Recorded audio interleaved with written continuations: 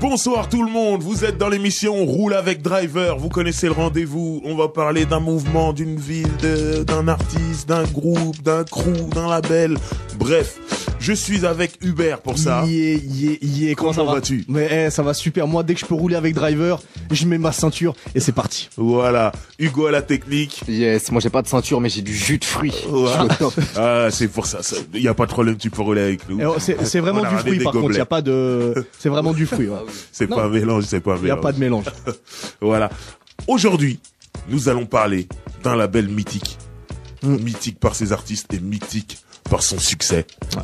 Parce que il me semble que dans l'histoire du rap français, c'est la première fois qu'on se retrouve avec un crew d'artistes et que autant de monde a de succès, autant de monde marche d'un coup. Ouais. Après, par la suite, il y en a eu d'autres, mais il me semble que c'est le premier crew où les gens ont eu autant de succès à peu près en même temps. Je parle du légendaire label français, le Secteur A. 9-5. Voilà, on va parler du secteur A pendant toute l'émission, euh, des, des artistes qu'il y a dedans, de, de quelques trucs, bruits de couloir, quelques, comment ça se passait derrière, tout ça. Bon, En plus, toi, t'étais pas loin des couloirs, toi. voilà, il va falloir que je me contienne parce que moi, faut savoir que ce, ce, tout ce crew, ce mouvement est né dans ma ville. Les bureaux étaient en bas de chez moi, donc j'ai vu énormément de choses et il y a des choses que je dois pas raconter, il y a des choses que je peux raconter, donc je vous raconterai ce que je peux raconter. Et je tiens tout de suite à m'excuser en Voilà. préparant le conducteur de l'émission et tout, à m'excuser parce que bien sûr, nous avons trois heures et j'essaie de gérer ces trois heures pour qu'elles fassent vraiment trois heures, si vous voyez ce que je veux dire. Donc il y a des, il y a des chansons, des artistes qu'on ne va pas jouer. Donc je tiens à m'excuser dès le début de l'émission. On ne jouera pas MC Janik. Tu es mon pote, MC Janik. Tu es mon pote, tu es mon pote. Je vais trouver un moyen de refaire une émission dancehall, reggae dancehall, et je jouerai tes morceaux dedans. Là, j'ai pas pu parce qu'à un moment, il a fallu que je fasse des choix. Mais sache que t'es mon gars et il y a rien de personnel. Et en plus, t'as des bêtes de morceaux. Ouais. Voilà. MC Janik qui a sorti un album chez Sectora avec un super morceau. Mais qu'est-ce qu'il a, a fait, ça? ça ouais. Avec Voilà. un clip Un Ouais, clip. je me souviens. Et surtout qui était sur le remix de Neissi de Doc Gineco. Un remix incroyable où le mec te raconte quand il quitte les Antilles et il vient en France. À un moment, il te raconte qu'il est assis sur, au coin du radiateur. Ça fait mal au cœur. Tu te dis, le me mec souviens. te dit comment il a me froid. Ça m'a touché. Cette parole me m'a touché. Donc, MC Janik, big up à toi. Et on ne jouera pas de morceaux des compilations première classe. Ça m'a fait mal au cœur. Ça m'a arraché le cœur aussi. Parce que Ouais. première classe, c'est secteur A C'est aussi. secteur A, ouais. Donc euh, voilà, on jouera pas de morceaux tirés de, de ces compilations alors qu'il y avait des bijoux, surtout la première. En, en vrai, on pouvait mettre le CD et laisser passer, laisser tourner, ouais. C'est- mais on jouera pas ça. Donc voilà, je tenais à m'excuser sur ça. Il se pourrait, bon, on va jouer d'autres artistes. Il y a des morceaux que vous imaginez que je vais jouer que je vais pas jouer. on ne jouera pas. Tommy Bugsy. Euh, Non, non, non, là, rigole. là, là, je vais me faire assassiner là. L'un des plus gros, on le met pas. On va rentrer dans le vif du sujet. On va commencer par le commencement. Sans le ministère amer, il n'y a pas de secteur A. Donc on va commencer par parler du ministère amer, qui est donc un groupe qui vient exclusivement de Sarcelles. Comment dire euh, On parlait hors antenne. Tu disais, toi Hubert, que Ouais.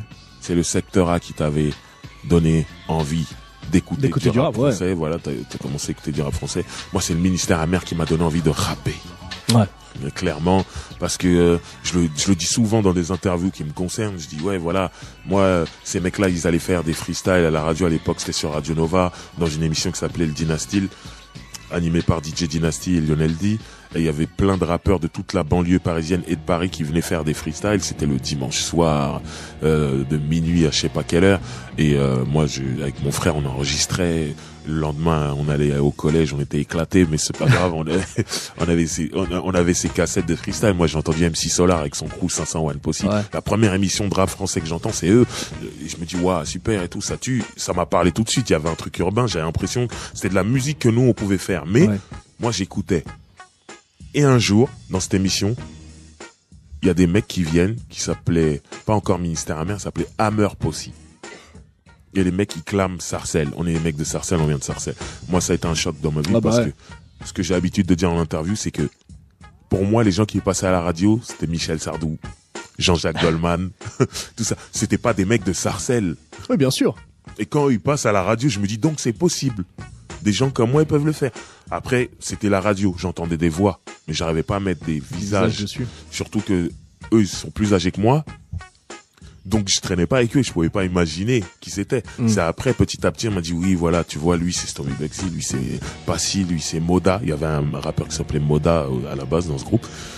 Et c'est là que je me suis dit waouh et j'ai commencé à me dire putain mais ils sont c'est des Renois en plus comme moi et ils passent à la radio. Donc c'est possible et je me suis mis à écrire. Ouais. Tu vois ce que je veux dire? Ouais. Ils ont rendu le truc possible pour moi. Donc, euh, ministère amer, déjà rien que pour ça, respect éternel. Mais en plus, ils ont ramené un truc très énervé, très cité. Sur le premier album, ils avaient même un, un discours très euh, tu es noir, ne baisse pas la tête. Tout ça, c'est des trucs qui me parlaient. Mm. Euh, à Sarcelles, il y a une très forte communauté noire aussi. Donc, euh, ils nous ont rendus fiers. Tu vois, on était là, on se levait. Et sur le deuxième album, le premier album, c'était Pourquoi tant de haine? Sur le deuxième album, qui s'appelle 95200, pour moi, c'est le premier album de rap de rue. On est, on est d'accord parce que juste Ouais. sur euh, moi je l'ai j'ai découvert par la suite après Ouais. avoir écouté Stomy et Passy c'est vrai que je suis rentré dans, dans Ministère Hammer parce que Ouais. j'étais trop jeune et j'écoutais pas encore Bien encore sûr. du rap Bien mais euh, moi ce que j'ai surtout remarqué c'est qu'il y a eu euh, on a une sorte de professionnalisation j'ai envie de dire sur le deuxième album Oui, bien sûr. parce que le premier euh, alors je suis pas super technique au niveau du son comme toi tu peux l'être mais j'ai l'impression que le, mixage était pas forcément fait et que On ils ont peut mis dire et on envoie clairement que le mixage est raté. ouais parce que c'est en fait Il les est euh, raté. c'est compliqué à écouter ce premier Ah. album, tu vois. Faut vraiment aimer les mecs et, et écouter parce que le, le son il est mauvais. Oh, Après, il faut. euh, euh, quand euh, je suis d'accord avec ce que tu dis, mais euh, en fait, c'est parce que tu l'écoutes pas au moment où ça sort. Voilà, Au moment ça où ça sort, on n'a pas beaucoup d'exemples de disques bien mixés. On sait pas c'est quoi un mix. Nous, on écoute des morceaux, on aime ou on n'aime pas. Ouais. Mais quand même, euh, j'entends les deux trois autres euh, NTM ou MC Solar, j'entends que le son est meilleur quand même. On l'entend. Mais les mecs sont tellement énervés que ça va. pas grave, ça, ouais. Non, ça va avec euh, leur musique en fait. Ouais. Le fait que ce soit sale et dégueulasse. Mais maintenant, il y a un petit bruit de couloir que les gens ne savent pas spécialement et que je vais, je vais éclaircir Ah, des choses sur le premier album, c'est que le premier album, euh, à la base, il était avec Moda. C'est-à-dire, ils étaient trois rappeurs. Ouais. Stomy, Passy et Moda. Moda et Stomy Passy de l'autre côté s'embrouillent. Moda quitte le groupe. Donc, il, il retire tous ses couplets. Mais Ouais. eux, ils ont toujours les mêmes dates, les échéances. Ils doivent sortir, terminer l'album à telle date et sortir l'album à telle date. Donc, ils ont dû réécrire des couplets vite et tout ça. Et Pour dans la chansons, précipitation. ouais. Et c'est peut-être ce qui peut paraître bâclé des fois. Mhm. Mais en vérité, l'album tel qu'il était et au moment où il sortait, je parle de Pourquoi tant de haine, c'était cool d'avoir cet album-là. Parce que ça changeait tout. Et euh, moi, j'ai l'habitude de dire, euh, et ils le savent, que leur premier album, c'était très Public Enemy. Et le deuxième, 95200, c'est très NWA. Euh, c'était plus KRA, plus gangster à la française, tout ça. Et ils sont professionnalisés, comme tu le disais, sur le deuxième. Mais Ah oui. surtout, dès le départ, ils sont deux. Ouais. Ils sont pas en train de rattraper des couplets qui ont disparu et tout. Là, ils commencent l'album, ils sont deux et ils font le truc et c'est un classique du rap français. 95200, c'est un Ah album oui. légendaire et tout. Bien et c'est parce qu'ils ont pu le préparer. Après, les mix, c'est pas non plus les meilleurs mix, mais c'est beaucoup mieux que sur le premier album. Si vous écoutez euh, Pourquoi tant de haine et derrière 95200, vous allez Vous voir, allez la, voir la différence. tout de suite. Il y avait pas eu un, un EP traître euh, quelque chose C'est hein un maxi, on appelait ça un un maxi, maxi, à ouais. l'époque, et c'était un trois titres. Il y avait Traite, il y avait le morceau Le Droit Chemin, et il y avait le morceau Au-dessus des lois. Euh, D'ailleurs, on va écouter Traite tout à l'heure. Et euh, ils sont arrivés par ça, en fait. Ouais. Et c'est ça que je voulais raconter, c'est que à l'époque, il y avait une émission sur M6 qui s'appelait Rapline, animée par Olivier Cachin. Et euh, c'était une époque où il n'y avait pas beaucoup de disques de rap, en fait. Ouais. Mais le rap, ça commençait à, à- à grandir et tout. Et cette émission, elle faisait beaucoup de bien parce que il montrait des, les, les nouveautés du rap américain. Nous, on voyait des choses qu'on voyait pas en journée à la télé. C'était sur M6. C'est-à-dire, ça passait la nuit, cette émission. Et on voyait des LL Cool J, des Public Enemy, des NWA, des Ice-T, des ça. On voyait tout ça. On était contents. Et ils mettaient du rap français. Alors, t'avais NTM ou Assassin qui sortaient des disques Ouais. Des maxi, des trois titres, des trucs comme ça. Et ce qu'ils faisaient, eux, c'est que des fois, ils finançaient des clips. D'accord. Et euh, M6, euh, il payait un caméraman et il choisissait un groupe et il disait on va on va filmer ce groupe-là. Et ce jour-là, il décide de filmer Ministère amer, le morceau Traître. C'est la première fois dans la ville de Sarcelles qu'il y a un clip. Ça veut dire que moi, je suis jeune, Tu as les caméras je suis au collège à cette époque-là. Ouais. On- tout le monde dans la ville sait que aujourd'hui, C'était un samedi, je me rappelle. Ministère amer, il tourne le clip de Traître. Et le maxi, il est sorti. Nous, c'est une fierté. Il y a des mecs de Sarcelles qui ont sorti un disque. On est comme des fous, on écoute ça tous les jours, ok Ouais. Et on sait qu'il va avoir le clip. Tout le monde veut être dans le clip dans la ville. Bah, tu m'étonnes. Mais on sait pas où c'est. Donc tout le monde tourne dans toute la ville comme ça, avec des grands yeux, tout le monde cherche, putain c'est où et tout. Il y a des gens qui savent, il y a des trucs. En plus ces enfoirés, ils tournent entre Sarcelles et Garges. Ça veut dire des fois ils sont à Garges, nous à Sarcelles on cherche, il y a pas de bruit, on sait pas tout. Et moi je me rappelle ce jour-là, il y avait la kermesse de mon collège, je le connais Jonathan France. Ouais. Donc moi j'étais là, j'étais partagé. Fallait que j'aille manger mes merguez. C'est important. Mais c'est mais important, c'est vrai. J'étais là, euh, ouais, truc tombola, tout, kermesse, on était là. Bah, c'est- tu sais, c'était important à l'époque euh, les kermesses. Eh ben, les merguez, par contre, c'est toujours important. Euh, voilà, Peu mais- importe euh, quand on est. Mais il y a des gens, ils étaient à la, à la kermesse, mais ils se disaient le clip, il est où le clip? Donc j'ai des potes, ils ont réussi à un moment à se retrouver dans un quartier qu'on appelle la secte Abdoulaye, qui est juste à côté de mon collège. Il y a des gens, ils ont capté qu'il y a des gens qui arrivaient, ils se sont dit ok c'est clip. J'ai des potes qui se sont retrouvés dans le clip. Moi j'y étais pas parce qu'à ce moment-là, je suis en train de manger un sandwich merguez. Important, on l'a dit, hein. Et que se passe-t-il? Il y a une petite scène, un petit podium. Et il y a des profs qui disent voilà, ceux qui savent chanter ou danser, euh, c'est le moment où on fait un concours. Celui qui gagne, il gagne un Walkman. Oh. Et à cette époque-là, un Walkman, c'était le truc. Mais c'est incroyable. Et là, je suis en train de parler du Walkman cassette. Auto-reverse. Même pas, c'est un trois boutons de la merde. Mais mais c'était important. Mais j'en avais pas à moi. Ouais. Et moi, je rappelle déjà. Ah, Au collège déjà. Ouais. Ouais. Donc, qu'est-ce que je me dis? Je me dis, oh, il faut que je monte sur scène et que je fasse ce truc, tu vois. Ouais. Et qui était en face de moi ce jour-là Des mecs qui étaient venus pour le clip de Ministère Amer, mais qui n'habitaient pas à Sarcelles. D'accord. Ils entendent du bruit, ils quittent le, le tournage et ils viennent. Ils voient que c'est une kermesse. Il y avait deux jumeaux qui s'appelaient les novices du vice. D'accord. Qui vois. plus tard allait Ouais. être produit par Tommy Bugsy. Et surtout, il y avait un mec, un long mec, qui était en costard. Qui lui aussi dit qu'il veut monter sur scène pour faire ce concours. Donc c'était un battle avant l'heure. Moi, je, je savais pas. Et ce long mec, c'était Doc Gynéco, mec. Oh. Eh ouais. Il était là en costard, Doc Gynéco. Il monte sur scène avec les gynéco du en vice. costard. Et voilà. Et j'étais en train de battle Doc Gynéco et les novices du vice. Qui a gagné? J'ai gagné. Ah Je tiens à dire que j'ai gagné ce battle. T'as représenté ta vie. T'as fait du zouk? Tu vois? Non, non, non, non, moi j'étais totalement rappeur, énervé, tout ça, mais surtout il était dans ma ville. Pouvez pas me battre ce genre-là, c'était Ah bah, c'était pas Vous pouvez possible. pas gagner. Donc j'ai gagné, on me donne ce Walkman, tout le monde crie, ah j'étais le héros. Et pendant ce temps, le clip de traite se tournait. Ouais. Donc moi quand je termine, truc, j'ai un pote qui va me dire, T'as raté Ils étaient au quartier On a tourné de traite Je dis, Ils sont Ils sont Ils sont partis Ah Je voulais pleurer Je voulais pleurer J'ai raté les clips de traite Ah ouais. et quand je vois ce clip à la télé sur M6, je vois le. Tu pleures je- encore? Je connais toutes les têtes qui sont dedans, leur prénom, leur nom de famille, tout. Et moi, je suis pas dedans, j'ai envie de pleurer. Jusqu'à maintenant, ça me fait mal. Ah bah je peux comprendre.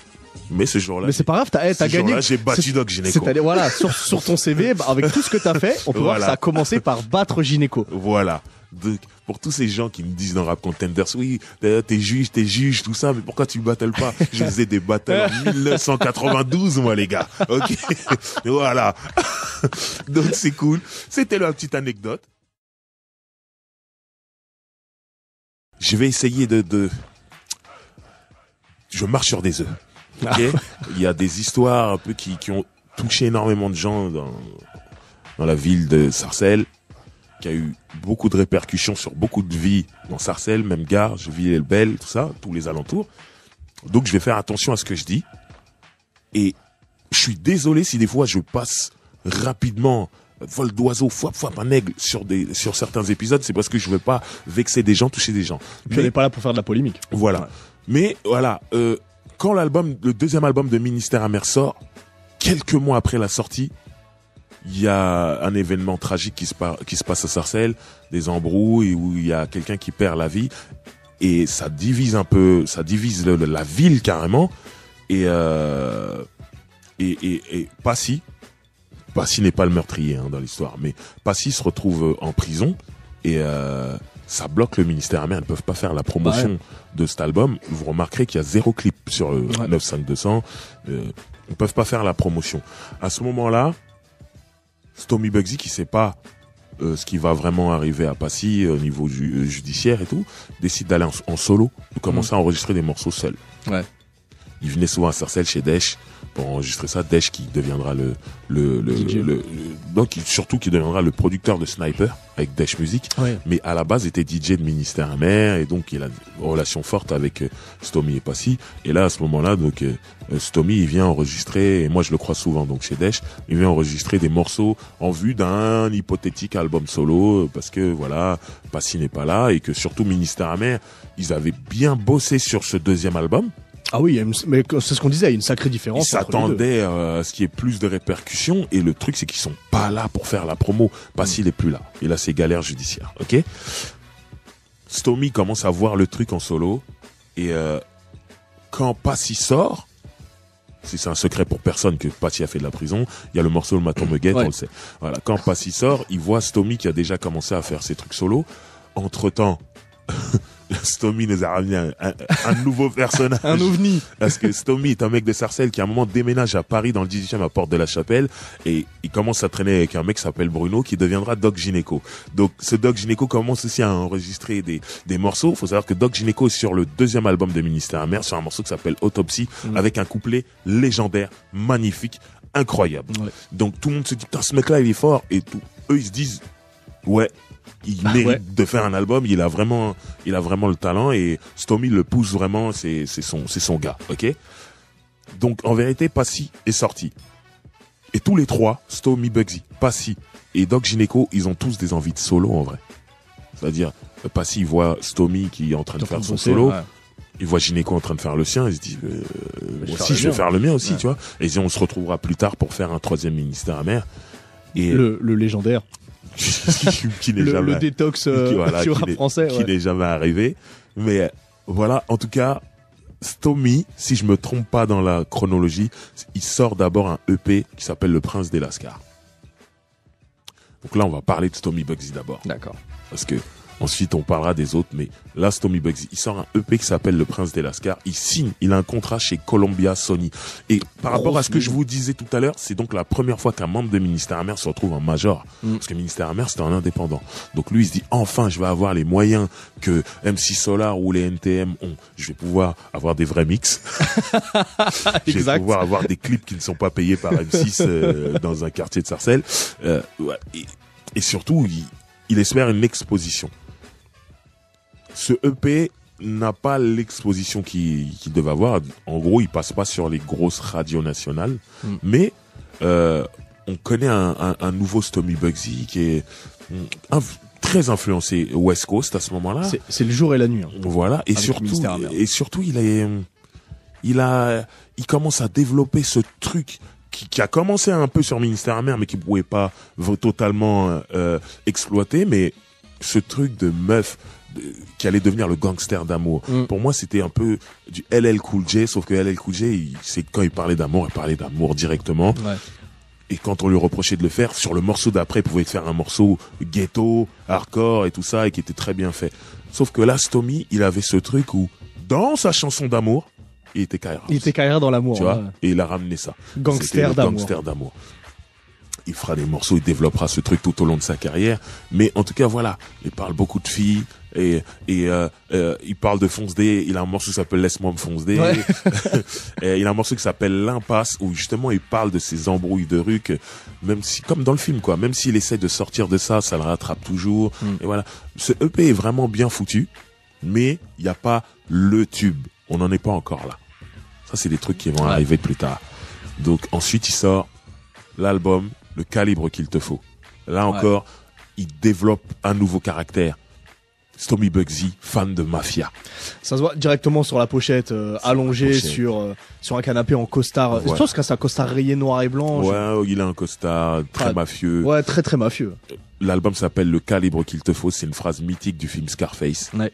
Une phrase myth- mythique de Tony Montana. Et euh, tout au long de l'album, il y a des références ou à Scarface, ou à l'impasse, ou au parrain. Vraiment tous les, les affranchis, tous ces films mafieux, tu sens qu'il les a regardés et elle a recraché cet album-là. Moi, pour la petite histoire, il y a plein de films mafieux que j'avais pas vus. Et c'est en Encore. écoutant Stomy. euh, Moi, j'écoutais l'album de Stomy, j'entendais des trucs, des phrases, des trucs, machin. Je trouvais ça super cool. Et c'est plus tard quand je me mets à regarder ses films. Ah, mais ça, c'était dans tel morceau de Stomy. Ah, c'était dans le truc, machin. Il avait pillé tous ses films mafieux et il en avait fait quelque chose de super bien rapologique. Et c'est dans, dans le, la BO de Ma, Cité va craquer. Son solo aussi, c'est euh, un truc euh, Ouais. mafieux, Ouais, un mec non, qui se tirer dessus. Enfin, il a, il était- à cette époque-là, il a fond. il faisait dedans. que ça. Il à fond dedans. Et moi, cet album-là, je le trouve pas abouti encore, même si je trouve que il va vers quelque chose. Il se passe quelque chose. Le truc de mafieux là, c'est c'est bien d'avoir développé. Stomy Bugsy est quelqu'un qui a beaucoup de concepts en lui. Ouais. Et ça, on le voit très bien sur cet album-là. Et ce qui est fou, c'est que cet album-là, finalement, il fonctionne mieux que euh, Le Prince des Lascars, le EP, mais sans trouver le succès. Mais dans cet album-là, il y a un morceau qui s'appelle Mon papa, moi est un gangster, un morceau qui finalement, non, dans cet album-là, il passe un peu inaperçu, parce que c'est pas la version que tout le monde connaît. Ah, parce que moi, j'ai la, là, moi, j'ai l'autre version de, de Voilà. l'album. ouais. Mais je sais pas qui a l'idée, si c'est quelqu'un de la maison de 10, je sais pas, moi j'étais pas là. Mais en gros, quelqu'un dit, cette chanson-là, il y a un concept. En gros, euh, c'est le Stomy qui se met dans la peau de son propre fils et qui dit que son père à lui, c'est un gangster. Et le père, c'est Stomy Bugsy. Parce qu'il y a des gens qui sont un peu troublés à ce moment-là, ils savent pas de quoi ils parlent, de qui ils parlent. Mais euh, mon papa et moi est un gangster. Stomy, ouais. Il fait partie du ministère amer. C'est Stomy Ah ouais. Bugsy. Donc c'est le fils de Stomy qui parle de son propre père. Hmm. Et lui, il répond à son fils, tout ça. Donc il, il, il est en mode Une dualité, schizophrénie. ouais. Voilà, il fait les deux personnages, son fils et lui-même. Et il y a quelqu'un qui trouve que cette chanson a un vrai concept, mais par contre la musique, faut la refaire, faut la remixer. Et en fait, il, il change la musique D'accord. et ça donne ce que tout le monde entend. Et ça fait un tube incroyable. Ah bah oui, c'est, c'est, si on te demande un morceau de Stomy, tout le monde va dire mon papa à moi est un C'est gangster. c'est son plus gros tube jusqu'à maintenant. Ah, et, une folie. et du coup, euh, il décide de faire un album remix. Quelques balles de plus. Tu vois, par exemple, là, on a débuté l'émission avec un morceau qui s'appelle Quand Bugsy et son gang des gommes. Faut savoir que sur euh, l'album Le Calibre qu'il te faut, il y a Quand Bugsy des gommes, tout seul, D'accord. avec une autre musique. Donc c'était beaucoup des remixes, euh, tu vois, tu- on parlait en antenne d'un un qui fait rep, c'est le remix de Mon Papa, moi un gangster, c'est le remix du remix, comme dirait Ouais, mon ami Noriega. Ouais. Mais mon, pa- bah, un rub qui fait rub, c'est, euh, moi je trouve que c'est le plus grand remix que j'ai pu entendre. Je suis assez d'accord avec Les, les invités qui sont là sont tous à la hauteur. à la hauteur pour de vrai. Mais tous. Magnifique. Alors, C'est, euh, Pour ceux qui savent pas de quoi on parle, sur ce remix, il y a il y a Ifi, il y a Passy, il y a Oxmo, il y a Pete Bacardi, Voilà. il y a euh, Arsenic. Il y a Ahmed Day, Ouais, euh, peut-être que j'en oublie, je sais je plus. pense qu'on a tout dit. Je pense qu'on a et, et Stomy qui re- revient à la fin avec un autre couplet Enrhumé, enrhumé. magnifique. il est magnifique, enrhumé, il est magnifique. Super couplet. J'adore le couplet d'Ifi, moi. Le, Le le, couplet d'Ifi me rend fou. Ce qu'il dit dedans, c'est juste incroyable. Quand je t'appelle refrain, c'est je pour pas, vrai. c'est- c'est- il dit, mon père a tellement euh, a tellement d'enfants que quand je t'appelle refrain c'est pour oh je sais plus les phrases mais C'est incroyable. c'est extraordinaire c'est mon couplet préféré Je aussi suis traumatisé par devant cette celui de Passy. Je suis trop, ah, et, et, et toi, je sais que t'es un et, grand tu- fan et de on connaît mon Si amour tu pour Passy ça, c'est ouais. vraiment pour dire que le couplet de Ifi il est extraordinaire Il est incroyable. Donc voilà. En tout cas, quelques balles de plus pour le calibre qu'il te faut. C'est un peu l'album remix du calibre qu'il te faut. Et pour moi, là, on touche un grand album de Stomy Bugsy. mais puis c'est euh, il faut voir Là, il y a les tubes. et c'est l'explosion en vrai de Stomy Bugsy pour- au grand public parce que tout à l'heure tu parlais d'M6 et de l'émission euh, Rapline faut savoir Ouais. qu'il y avait une émission avant qui s'appelait Fan 2 Ouais. Avec Et Séverine Ferrer. avec Séverine Ferrer et Stomy a fait Fan 2 à cette époque-là Ça veut dire, marchait. si t'es dedans, Voilà. parce qu'il faut e- expliquer le concept de Ouais. l'émission pour ceux qui n'ont pas connu. Fan 2 C'était une émission euh, M6, 11h du matin, un truc comme ça le samedi ou je sais plus, avant ou après Machine, je sais plus. C'était av- après, oh, je sais plus. Bref. Moi, je regardais les deux de toute façon. Bref, il y a des gens qui sont sélectionnés pour rencontrer leur star préférée. Ça veut dire, toi Hugo, tu aimes Stomy Bugsy, tu envoies un courrier, tu dis j'aimerais rencontrer Stomy Bugsy. Et si tu es C'est bien de préciser que c'était des courriers, hein, c'était pas des Ouais, mails. ouais, bah oui. Et si tu es tiré au sort, tu rencontres Stomy Bugsy et c'est filmé pour l'émission. Donc il y a eu énormément passes la journée avec lui, toute tout. ouais. musique confondue qui passait. Mais Ouais. quand t'étais un rappeur et que tu passais là-dedans, c'est que t'avais passé le cap du rap. Ouais. T'étais dans la musique française. Quoi. Voilà. Et Stomy, le fait qu'il se retrouve dedans, oui, ça voulait dire. Et moi, et moi j'ai cette image, on le voit marcher. Alors, je sais pas si c'était à Sarcelles ou pas, je sais pas où c'était. On le non, voit, je pense pas vont voit- ramener les fans à Sarcelles. on le voit, on le voit marcher en fait sur des rails. Le long des rails, il a, il a un, un bébé rot dans les, un bébé rot ou pitbull, je sais plus, dans les bras. Pitbull, Pitbull. Ouais, un bébé rot pi- pitbull qui marche dans les bras. Il a encore ses tresses. Ouais.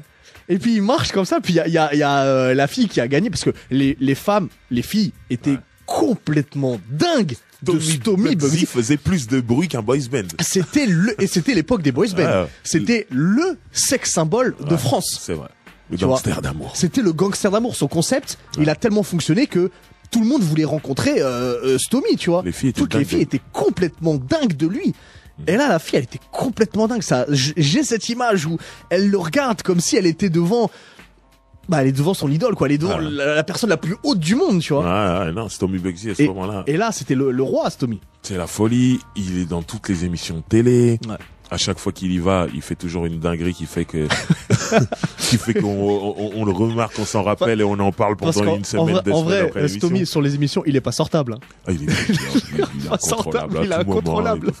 Moi, Je me rappelle d'une d'une interview, d'une- il a la télé dans une émission de télé avec Julio Iglesias. Son idole.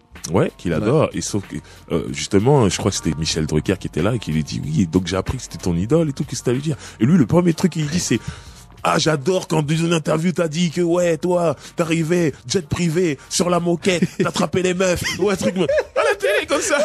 Alors, Chez Drucker. écoute, Chez Drucker, même Drucker, il sait plus où se mettre, mais qu'est-ce qu'il fait, ce truc, C'était un mec complètement fou. Voilà, mais, du coup, ça faisait parler. Il faisait une émission, t'en parlais encore pendant deux semaines après l'émission, parce qu'il faisait des dingueries et tout ça. Il était, il était, Il était naturel. 100% Naturel. naturel, ouais. très excité. Après, ceux qui le connaissent de Sarcelles, ils savent que ça a toujours été un excité.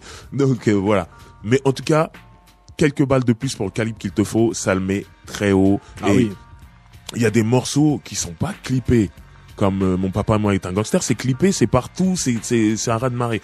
Mais t'as un morceau qu'on va jouer tout à l'heure qui s'appelle euh, Je prie Dieu quand je suis dans Oh, la merde. j'adore Je ce prie Dieu, morceau. c'est le titre.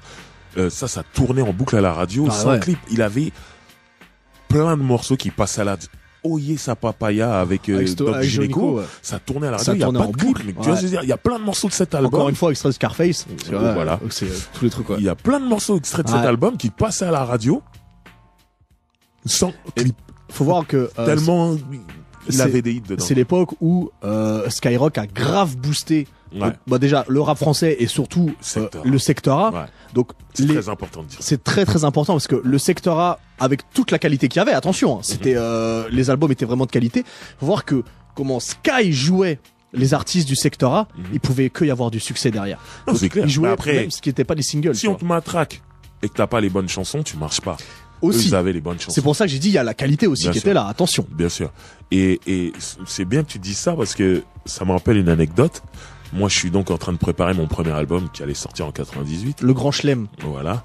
Et la maison de disques me dit, tu vois, sur Skyrock, il passe que Sarcelles et Marseille. C'est vrai. hein. Parce qu'il booste, c'est même euh, l'école du micro d'argent. Voilà. IAM, FF, Troisième œil, Dev Bond, Ouais. tout ça, toute cette partie-là. Et de l'autre côté, t'avais tous les artistes des secteurs A dont on va parler tout au long de l'émission. Tout ça, c'était matraqué sur Skyrock à la même époque. Mm. Et ils me disent, ce serait bien que sur l'album, t'invites des mecs de Sarcelles. Donc secteur A, sont à côté de chez toi, tu les connais. Et des mecs de Marseille. Comme ça, Tu cool. compiles tout ce qui Voilà. passe. Ouais. Sauf que moi, je suis un gamin. Rien fait du tout. Au lieu d'inviter des mecs de Marseille, j'ai dit, moi, je vais aller à Toulouse. j'ai invité KDD, invité Dadou, KDD. Diesel, voilà. Et euh, des mecs de Sarcelles. Ouais, ouais, ouais, j'ai invité mon pote Kibla, qui est mon ami d'enfance, qui rappe sûr, et pas quelqu'un de secteur A. Ouais. Ça, c'était ma rébellion à moi, de ma façon de dire aussi, laissez-moi faire mon album, laissez-moi tranquille. Ouais. Et voilà. Après, j'avais rien contre le secteur A. Euh, moi, quand j'enregistrais mon, mon premier album, Stomy et Passy et Ahmed Day, ils sont passés un jour. Ouais. Bon, ils ont plus foutu la merde qu'autre Oh, chose. c'est- pas étonnant, alors, franchement. Mais je me rappelle d'une séance studio où je suis en train d'enregistrer un morceau qui s'appelle Ambition, pour ceux qui connaissent mon Évidemment. Et Passy, il arrive, il dit, le premier couplet, il est mortel. Ton deuxième, il est bof. Tu devrais le changer. Ahmed Day dit, mais non. Le deuxième, il tue. C'est le premier que tu dois changer. Stormy dit, mais non, euh, j'ai dit, sortez d'ici. sortez d'ici, vous êtes en train de me ouf. Tu foutre la merde. Ils ont foutu, plus la merde qu'autre chose, mais voilà. C'était cool. C'est tout ça, c'est pour dire que voilà, ils sont passés pendant l'enregistrement. Ah, surtout- J'étais un, un petit frère pour eux, c'était mes grands frères, tout ça. Donc, Surtout, c'est important d'arriver en tant que driver et pas en tant que petit frère du secteur A, tu Ouais, vois. ouais, ouais. Après, comme je disais, en plus, il y avait plein d'histoires dans la ville qui faisaient que je pouvais pas toujours faire tout ce que j'aurais souhaité faire. Mm. Mais en tout cas, je tiens à dire que j'ai toujours eu des bons rapports avec les artistes. Parce que et, et- et- c'est Ça, on le bi- sait. Non, mais c'est bizarre que je dévie comme ça, mais c'est pas si bizarre que ça. C'est parce qu'à l'époque, dans le coin, il y avait plein de gens qui disaient driver. Tu viens de Sarcelles, t'es pas dans le secteur A. Comment ça c'est T'es en embrouille avec eux. J'ai jamais été en embrouille avec eux. Ah. Ouais. Donc euh, j'en profite aujourd'hui, on est en 2017, on est plus de 20 d'embrouille. ans plus tard. Mais j'en profite pour me justifier encore sur cette histoire. Je n'ai pas d'embrouille avec eux, ce sont mes frères. Ok? Donc voilà. En tout cas, Stormy Bugsy, ensuite il fera d'autres albums dont... euh, Trop jeune pour mourir. trop Alors, jeune pour mourir. les gens n'ont pas forcément super bien euh, attrapé. Moi, je trouve que c'était un bon album. Hop. Alors, il est moins bien que quelques balles de plus, évidemment, parce que c'est euh, son album référence et tout, mais moi, j'ai plutôt bien accroché sur sur euh, sur cet album. Je trouve que c'est encore dans la continuité de Gangster d'amour. Euh, Disons que Stormy Bugsy, c'était monsieur, j'ai plein de concepts. Et c'est un album. et je trouve et je trouve que peut-être qu'il les amenait trop vite d'un album à l'autre il était différent c'est à dire là il quitte la mafia et devient Tupac c'est peut-être Bah, ça, se, voit- de ça se voit sur la pochette. Il est Ah en oui. bandana blanc, torse nu. Il a, je crois qu'il a un dickies. Il a les bras ouverts. euh, et là comme- il ouais. est- et, et ça a peut-être dérouté des gens et il a peut-être amené ça trop vite et tout et euh, ça marchera moins Ouais. et à partir de parce que les singles sont moins forts. Euh, voilà, et à partir de cet album-là, ça marchera de moins en moins. Mais euh, en tout cas, c'est un mec super important. Déjà, Ah oui. par Ministère amer, il a marqué il a un classique euh, avec euh, 95200. Et lui, le succès qu'il a eu, et surtout ramener ce truc à la télé, KRA, mais en même temps qui parle aux femmes, tout ça, c'était nouveau. C'était pas. Ah oui. Mais il, il arrive avec son concept, comme t'as dit tout à l'heure. Voilà, euh, donc, euh, fou. Moi, je trouve que Stormy Bugsy est super important pour ce rap français. Ouais. C'est un secret pour personne. C'est mon gars. C'est mon grand. On a travaillé ensemble sur des projets, d'autres projets. Il a un album qu'il a sorti en indépendant qui s'appelle Rime Passionnel, Qui est qui est un de ses meilleurs albums. Je pense que beaucoup de gens sont passés à côté parce que c'était pas en major et qu'il y avait pas la grosse machine, la promotion. Et ceux qui, ceux qui sont passés à côté, je vous invite à aller écouter Rime Passionnel. Il Magnifique. y a un morceau qui est très hardcore, qui, bah, qui est hardcore Ah, d'ailleurs. C'est le morceau, c'est hardcore. Il y a un remix aussi, euh. Ouais. mais le morceau hardcore, le, pas, pas le remix, la version originale, c'est son morceau le plus fort depuis. euh, Il, il a un niveau de punchline Oh incroyable. là là Et pour la petite histoire, Très, parce très que j'ai un peu bossé avec lui sur cet album-là, donc je le voyais, il avait, quand il faisait cet album, il avait un cahier où il notait des punchlines à chaque fois, il marchait dans la rue. Dès qu'il avait une idée, il marquait, il marquait. Et à un moment, il a son cahier de punchline, il dit, bon, maintenant je vais écrire l'album. Ça fait qu'il écrivait ses albums. Il allait chercher une, punchline, il piochait dans son cahier comme ça, et il mettait, et c'est pour ça que dans cet album-là, il y en a plein! Ah, mais c'est. Comme euh, il en a jamais fait, il y en a plein! C'est clair. Et il y a une petite nuance sur cet album. Euh, vous allez voir que Stomy Bugsy, c'est pas un S pour le Bugsy, c'est un Z. C'est-à-dire qu'il s'est créé un, un autre personnage en fait pour cet album. C'est la version hardcore Voilà. du Bugsy avec le S. C'était, c'était ça, en fait. Ouais. Maintenant, on va passer à son compère, Passy. Eh oui. Donc, comme je le disais tout à l'heure, il sort de tôle et il voit que les autres sont bien avancés. Pour la petite histoire, Doc Gineco sortira avant Passy, donc Stomy, Mm. Doc Gineco, les deux sortent avant Passy.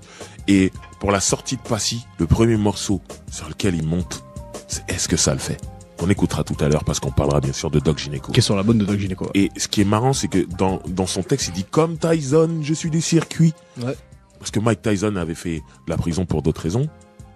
Et quand il est sorti de tôle, ah, il a boxé des mecs en 30 secondes là, et puis il a boxé deux mecs et directement on l'a, on, l'a dit bon c'est bon t'es chaud pour euh, euh, faire un championnat du monde et il a repris une ceinture contre euh, Frank Bruno.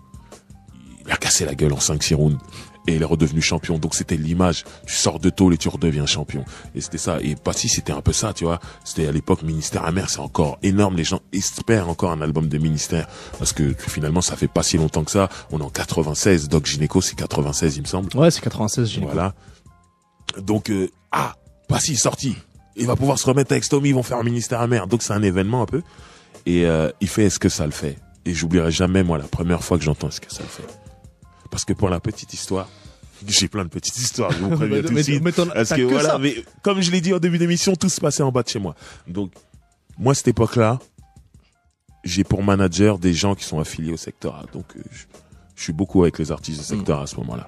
OK? Et, euh, il y a un de mes managers qui arrive, c'était en cassette à l'époque, avec deux nouveaux morceaux. Doc Gineco est en train de préparer son premier album, première consultation. Faut savoir que nous, dans Gare Charcel-Villiers-le-Bel, il y a la maquette de l'album qui tourne déjà. Et nous, ce qu'on entend de Doc Gineco, on sait que ça va être une star, mais on en reparlera en détail tout à l'heure. Mais c'est pas l'album définitif, il est encore en train d'enregistrer. Et ils reviennent de Los Angeles où ils ont mixé l'album en fait. Et il y a deux nouveaux morceaux qui sont là. Il y a une nouvelle version d'un morceau qui s'appelle Vanessa, que tout le monde connaît. Ouais. Donc c'est la version définitive que tout le monde connaît. Moi, à ce moment-là, mon manager, il arrive avec cette cassette, il y a Vanessa. Et il y a Est-ce que ça le fait? Et il nous joue les nouveaux morceaux. Deux morceaux complètement différents. complètement différents. Moi, quand j'entends Est-ce que ça le fait, pour moi, c'est Nothing but a G-Tang français. c'est Dr. Dre et Snoop en français. Ouais. J'étais comme, où je dis, wow, c'est quoi ce bordel et tout. Vraiment, je suis traumatisé. Euh, Excusez-moi. je me souviens. Mon téléphone Ah. vibre. Bah, là, c'est ils ont entendu que ils ont entendu l'émission. Là, ils t'envoient un message. Voilà. Donc, je suis traumatisé. Je dis, ouais, et surtout, on réentend enfin Passy depuis longtemps. Et c'est là que je me dis, waouh, mais Passy, il est chaud. Il est en pleine forme. Là, je me dis, ouais, ça va être vraiment magnifique et tout. Et on attend tous l'album de Doc Gineco dans le coin, parce qu'on sait que ça va être bien. Mais en même temps, Passy, on sait pas encore qui va avoir un album solo. Nous, on Mm. pense à Ministère mais on dit qu'il est en pleine forme. Et c'est là qu'on apprend, un peu plus tard, que Passy est en train de préparer son album solo. On dit c'est cool, ça va être cool, mais on sait pas encore ce qui va se passer, on n'a rien écouté. Ouais. Et finalement, le premier extrait qu'on entend, parce que Passy n'est pas à Sarcelles, quand il, enregistre ça, il est à Lyon, après il arrive à, à Paris, mais il est pas à Sarcelles, donc les maquettes de euh, l'album de Passy, elles N'arrive tournent, pas. elles tournent pas comme celle de Ministère Amer, ou de, ou de Stomy, ou de, comment ça s'appelle, ou de Doc Gineco. Nico. Nous, on n'entend rien, donc ce qui, finalement, ce qu'on entend, c'est vraiment un truc comme tout le monde. Ouais. Ma cité va craquer, les flammes du mal. Oh là là là là là. Tu vois ce que je veux dire? C'est-à-dire, nous, tout ce qu'on entend de c'est est-ce que ça le fait? Et les flammes du mal. Les, les Les flammes, du mal, c'est- grand morceau. Je suis traumatisé, je me dis, oh là là, ce Passy-là, là, Oh. ça va être un problème. Ouais. Ça va être un problème. Donc voilà, ensuite, il fait, il sort l'album, Les Tentations, que tout le monde connaît. Ouais. Pour moi, l'album, il est excellent. Ah mais il est parfait de A à Z. Et euh, j'ai eu la chance, je suis en train de fouiller dans mes souvenirs en même temps que je parle, d'assister à un morceau. Euh, ouais, je zappe et je mate. Je suis Gros passé. gros morceau. De Parce que le mec qui fait la musique, c'est Nasser. C'est toute façon, dès qu'il y a des feux de l'amour, toi t'es dans le coin. hein. Oh, déjà en plus. C'est mon DJ en fait, Nasser. C'est celui qui a et c'est celui qui a fait euh, mon morceau Aïe aïe aïe le petit dans en l'air par exemple, Ouais. pour citer que celui-ci. Et euh, donc je suis tout le temps avec Nasser. Nasser il me dit vas-y passe au studio, je suis avec Passy, on est en train de faire. Et il faut savoir que ce morceau-là, je crois que c'est le dernier morceau de l'album que Passy fait. L'album il est fini en fait. En fait, quand il est venu, il nous a expliqué un petit peu que ce, que ce morceau-là, à la base, ça devait pas. euh, C'était un freestyle qu'il faisait euh, en rappant quand il était avec euh, euh, dans les loges avec AKH ou avec la, la FF. Ouais. Il, se, il se faisait des freestyles comme ça. Et lui, il, a- Ouais. il avait commencé à faire un, un freestyle en prenant des noms d'émissions, mais Ouais. c'était pas prévu Mhm. pour en faire un, morceau, tu vois. Et, et apparemment, je crois que c'est la maison 10 qui a dit, on fait, mais il nous faut un tube. Il nous faut un morceau radio. Ouais, il l'a- il l'avait pas en fait. Voilà. Et, et en fait, c'est ça qu'il a écrit. euh, Nasser lui amène la musique. Et comme il y a derrière ce piano cette mélodie des feux de l'amour, je pense que c'est ça qui déclenche le truc chez Passy. Passy se dit j'ai un texte qui va coller sur ça. ouais. Plus la télévision, les feux de l'amour, bim. Et ils ont fait le truc. Radmaré, premier single de l'album. Radmaré, Ikasu, c'est n'importe quoi. Le Maton me guette tourne en même temps. Comme j'expliquais sur Stomy Bugsy, c'est une époque où Skyrock, il joue des trucs, il joue les singles, mais il joue plusieurs morceaux de ton album. Ouais. Il y a des morceaux qui sont même pas clippés, ils tournent. Donc, euh, le Maton me guette, ça tourne en boucle. Ah oui. Il me semble que tu connais ce Ah, morceau par oh, cœur. oh, Tu je- Ah, Tu je- nous l'as il me semble ici. qu'il y avait, euh, il y avait une émission où je l'ai rappé un Voilà. petit peu. voilà, c'est, c'est vrai. Moi, tu vois, euh, comment j'ai, euh, comment j'ai pris ça? Bon, C'est par rapport à Passy aussi. Et euh, j'avais découvert sur la BO de Ma Cité m'a craqué, Les Flammes du Mal. Ouais. Et l'album, donc, on savait pas qu'il allait sortir l'album parce qu'il faut voir qu'on est en 97. Il y a pas Internet. Donc Ouais, c'est soit les magazines, Ouais. soit la radio, soit tu passes ton temps à la Fnac à chercher des CD.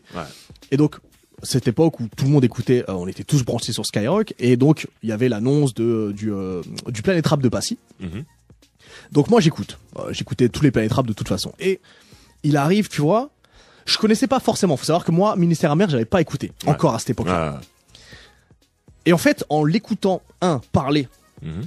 deux, rapper, et le discours qu'il avait. Alors, il y a ce discours, t'as parlé du, euh, euh, du Maton Muguette, euh, et puis euh, l'engraineur, enfin, il y a plein plein de morceaux très très forts dans, dans, Mhm. dans cet album.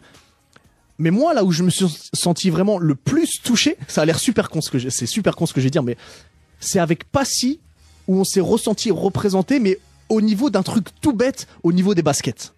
Parce que Passy, et du coup je le découvrirai après en écoutant Ministère Amer, mais Mhm. il fait cette ode à la basket blanche. Ouais. Tu vois, euh, dans Cours plus vite que les balles, quand Voilà. il dit Et mes baskets blanches vont encore morfler. Ouais. C'est un truc que on connaît tous. On Ouais. sait tous que c'est d'avoir une nouvelle paire de baskets, d'aller au, au collège avec et de Ah. dire Les mecs, ils disent Ah, Je vais te la baptiser, je vais te la baptiser. Oh merde. Ça, ça crée des bagarres. Je Tu vois. c'est ça. Et en fait, on se dit Putain, mais il est, il est comme nous. Tu vois, c'est, c'est, nous, c'est Ouais. pareil. Putain, Ouais. les baskets blanches, il faut pas y toucher. C'est un vrai culte. Ouais. Et donc de là, moi, je l'ai pris directement en affection. Et après les, les morceaux, euh, l'écriture de Passy qui est euh, qui a l'air simple, tu vois, Mhm. qui a l'air très épurée, mais qui est percutante directement. Il n'y a pas de de, de mots ou, ou de phrases qui n'ont pas leur place ou Mhm. qui sont mal mises. À chaque fois, c'est super bien fait. Et, et cet album, je le trouve complet parce que euh, et puis Passy en général, mais là, vu qu'on est sur le, le premier album, Mhm. C'est qu'il peut euh, te parler de tout. C'est à la base, c'est du rap. J'ai envie de dire polyvalent, c'est-à-dire qu'il peut aussi bien te faire donc le maton me guette que l'entre de l'ange qui est moi c'est mon morceau préféré, mais, Ça mais- me, ça ne m'étonne ouais, qui est un morceau d'amour. Voilà. Et, euh, et derrière il va te faire euh, euh, hip hop crazy où, où il rappe un peu plus et, Uh-huh. et moi c'est moi c'est ce qui m'a plu c'est qu'il est capable de tout faire et surtout à chaque fois avec de la qualité. Ouais. Et, et je me souviens, j'a- j'avais tout enregistré sur cassette, donc à l'époque. Et je me souviens que cet album, il est sorti en mars 97. Ok.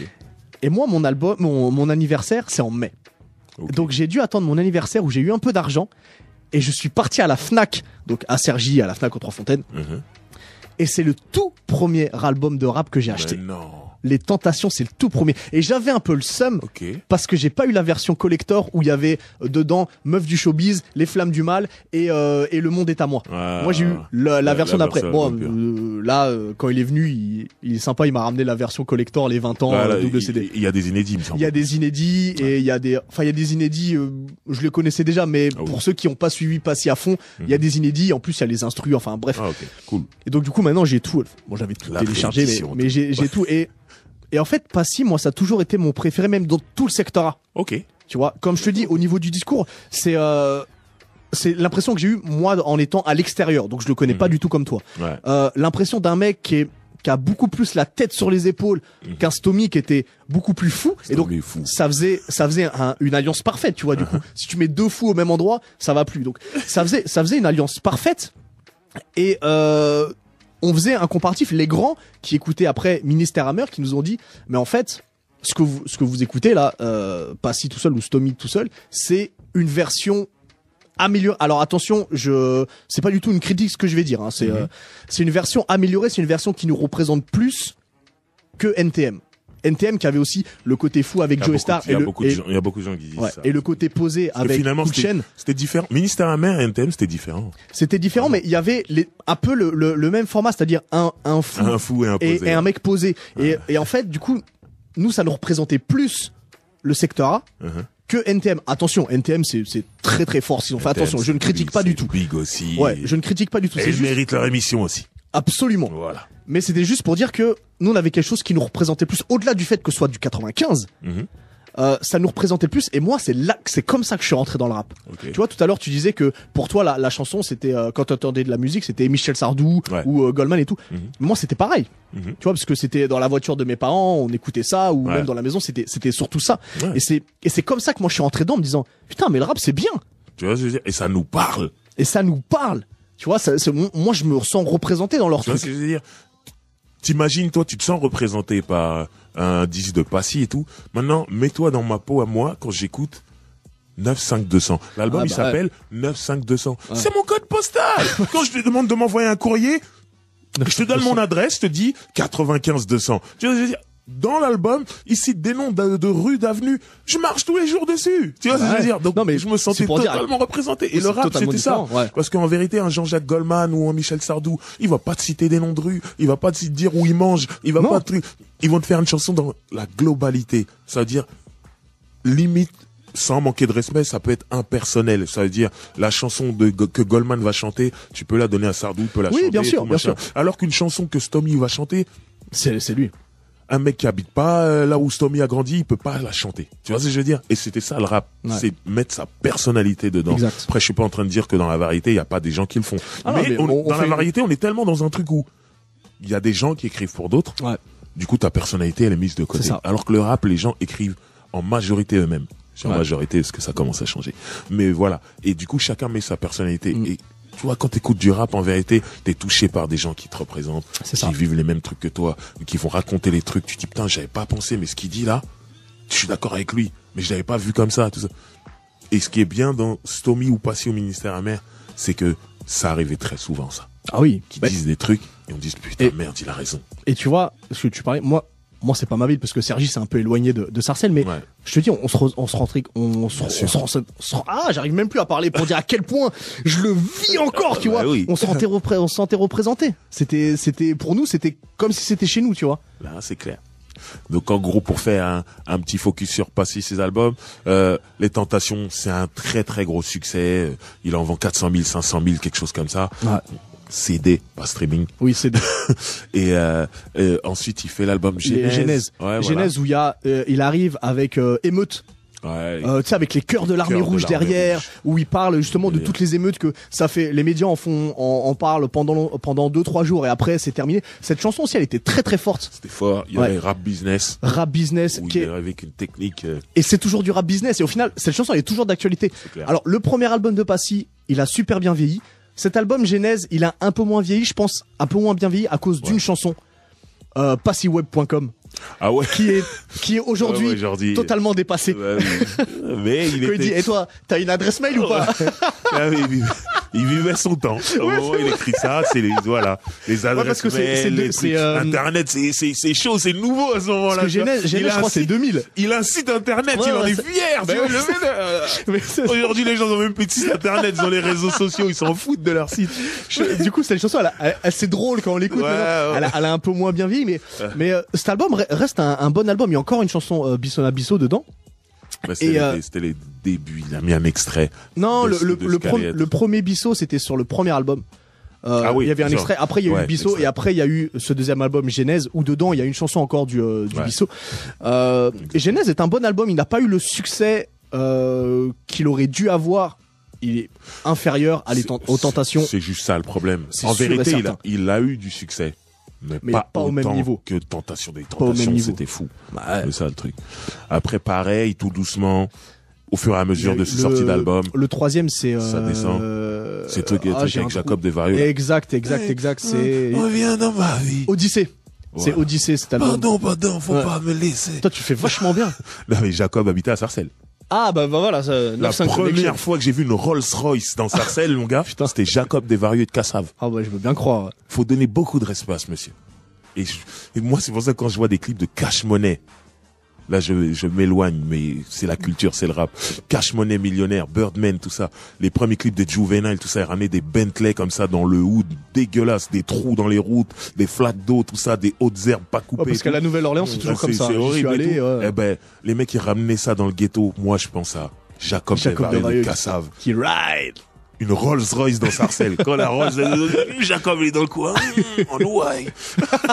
non, non, non, beaucoup de respect. Cassave, Jacob Desvarieux. En tout cas, voilà, la connexion, Passy, Jacob Desvarieux. Il y avait Sarcelles dedans. Et il faut dire aussi un truc sur Passy, c'est qu'à un moment donné, c'était un peu le même le Puff Daddy français parce que avec toutes les productions qu'il faisait euh, que ce soit pour d'autres artistes ou même les compiles avec les dealers Dealer. de zouk, dealers de rime, dealers de raga, dealers d'hip hop rock euh, je crois que c'est Ouais, on a fait le tour, je crois on a fait le tour Ouais. mais il était très très très actif Et avec succès. Et je avec pense succès. Dealer de Zouk, c'était numéro incroyable. un. On me dit que n'y a mon.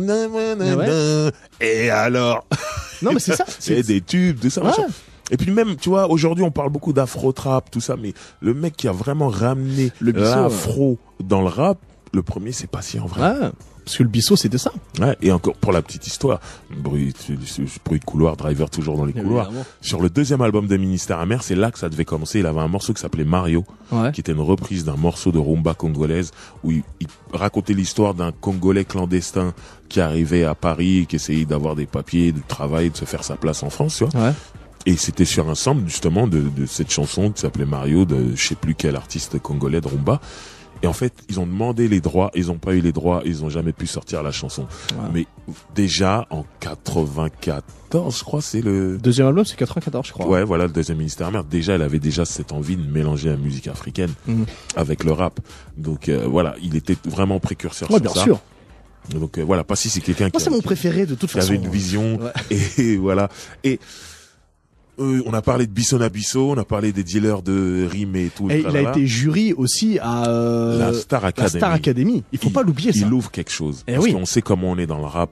Ouais, faut pas aller dans ces endroits-là, tout ça. Lui, il a été en toute simplicité. Et finalement, ça s'est bien passé. Ça s'est lui. super bien À passé. aucun moment, il s'est affiché. Il ou- était totalement crédible. Voilà. Euh, il faisait bien son boulot. Ouais. Euh, moi, j'ai beaucoup. En plus, il y avait un, un mec qui faisait du rap aussi à, à, à la Star Academy. Je sais plus le nom. Et euh, Passy il l'a remis en place plusieurs fois. Ouais. Ça m'a fait rire. Moi, j'ai beaucoup aimé. Ouais, j'ai Sauvan ou un truc comme euh, euh, Seven. C'est c'est Selvin. Ah, euh, ça commence par un ça. S. C'est Van, c'est Ouais. je crois, c'est ça. Je pense. Ouais. J'essaie de me souvenir. Je dis pas, je regardais pas trop en fait. Euh, Enfin bref, comme Je me quoi. rappelle que Jennifer, excusez-moi. Mais je, peux- je peux comprendre. Ah, Jennifer. Et euh, Aurélie, euh, au Aurélie de, de la Starac. Je me rappelle pas d'elle. Euh, je te montrerai après. Ok. Maintenant, nous allons parler du poison. Le poison coule à foison. Ah. J'aurais dû ramener mon jogging Lacoste. On va écouter. On va parler Ouais. de Calbo et Lino. Arsenic. Ce groupe venu tout droit du sixième chaudron. Villiers-le-Bel. La Cerisay. Une spéciale pour le Puy la Marlière. PLM. Une spéciale pour les PBMC. Je le dis. Les gens de Villiers-le-Bel de mon époque savent très bien de qui je Ah parle. parce que nous on est largués. Hein. Oui, je sais, mais bon, je vais Avec Hugo on se regarde. euh, sûr. Je fais un peu mes petites dédicaces en. Pour ça. voilà. Arsenic. C'est un groupe. Alors moi je vais je vais vous raconter ma vision bien sûr, c'est un truc très personnel et tout et avec mes petites anecdotes aussi de ce que je me rappelle et tout. Alors moi je sais que eux ils- ont un crew, tu sais à l'époque des bandes tout ça, machin, ils ont un crew qui s'appelle les PBMC. Alors je suis obligé de balancer de ce que ça voulait dire Ah ouais, faut le dire là. alors il y a, y a plusieurs significations, mais la première qui énervait beaucoup de gens et qui faisait parler des, de beaucoup de gens, ça voulait dire les plus beaux mecs du continent. Je trouvais ça magnifique. Quoi.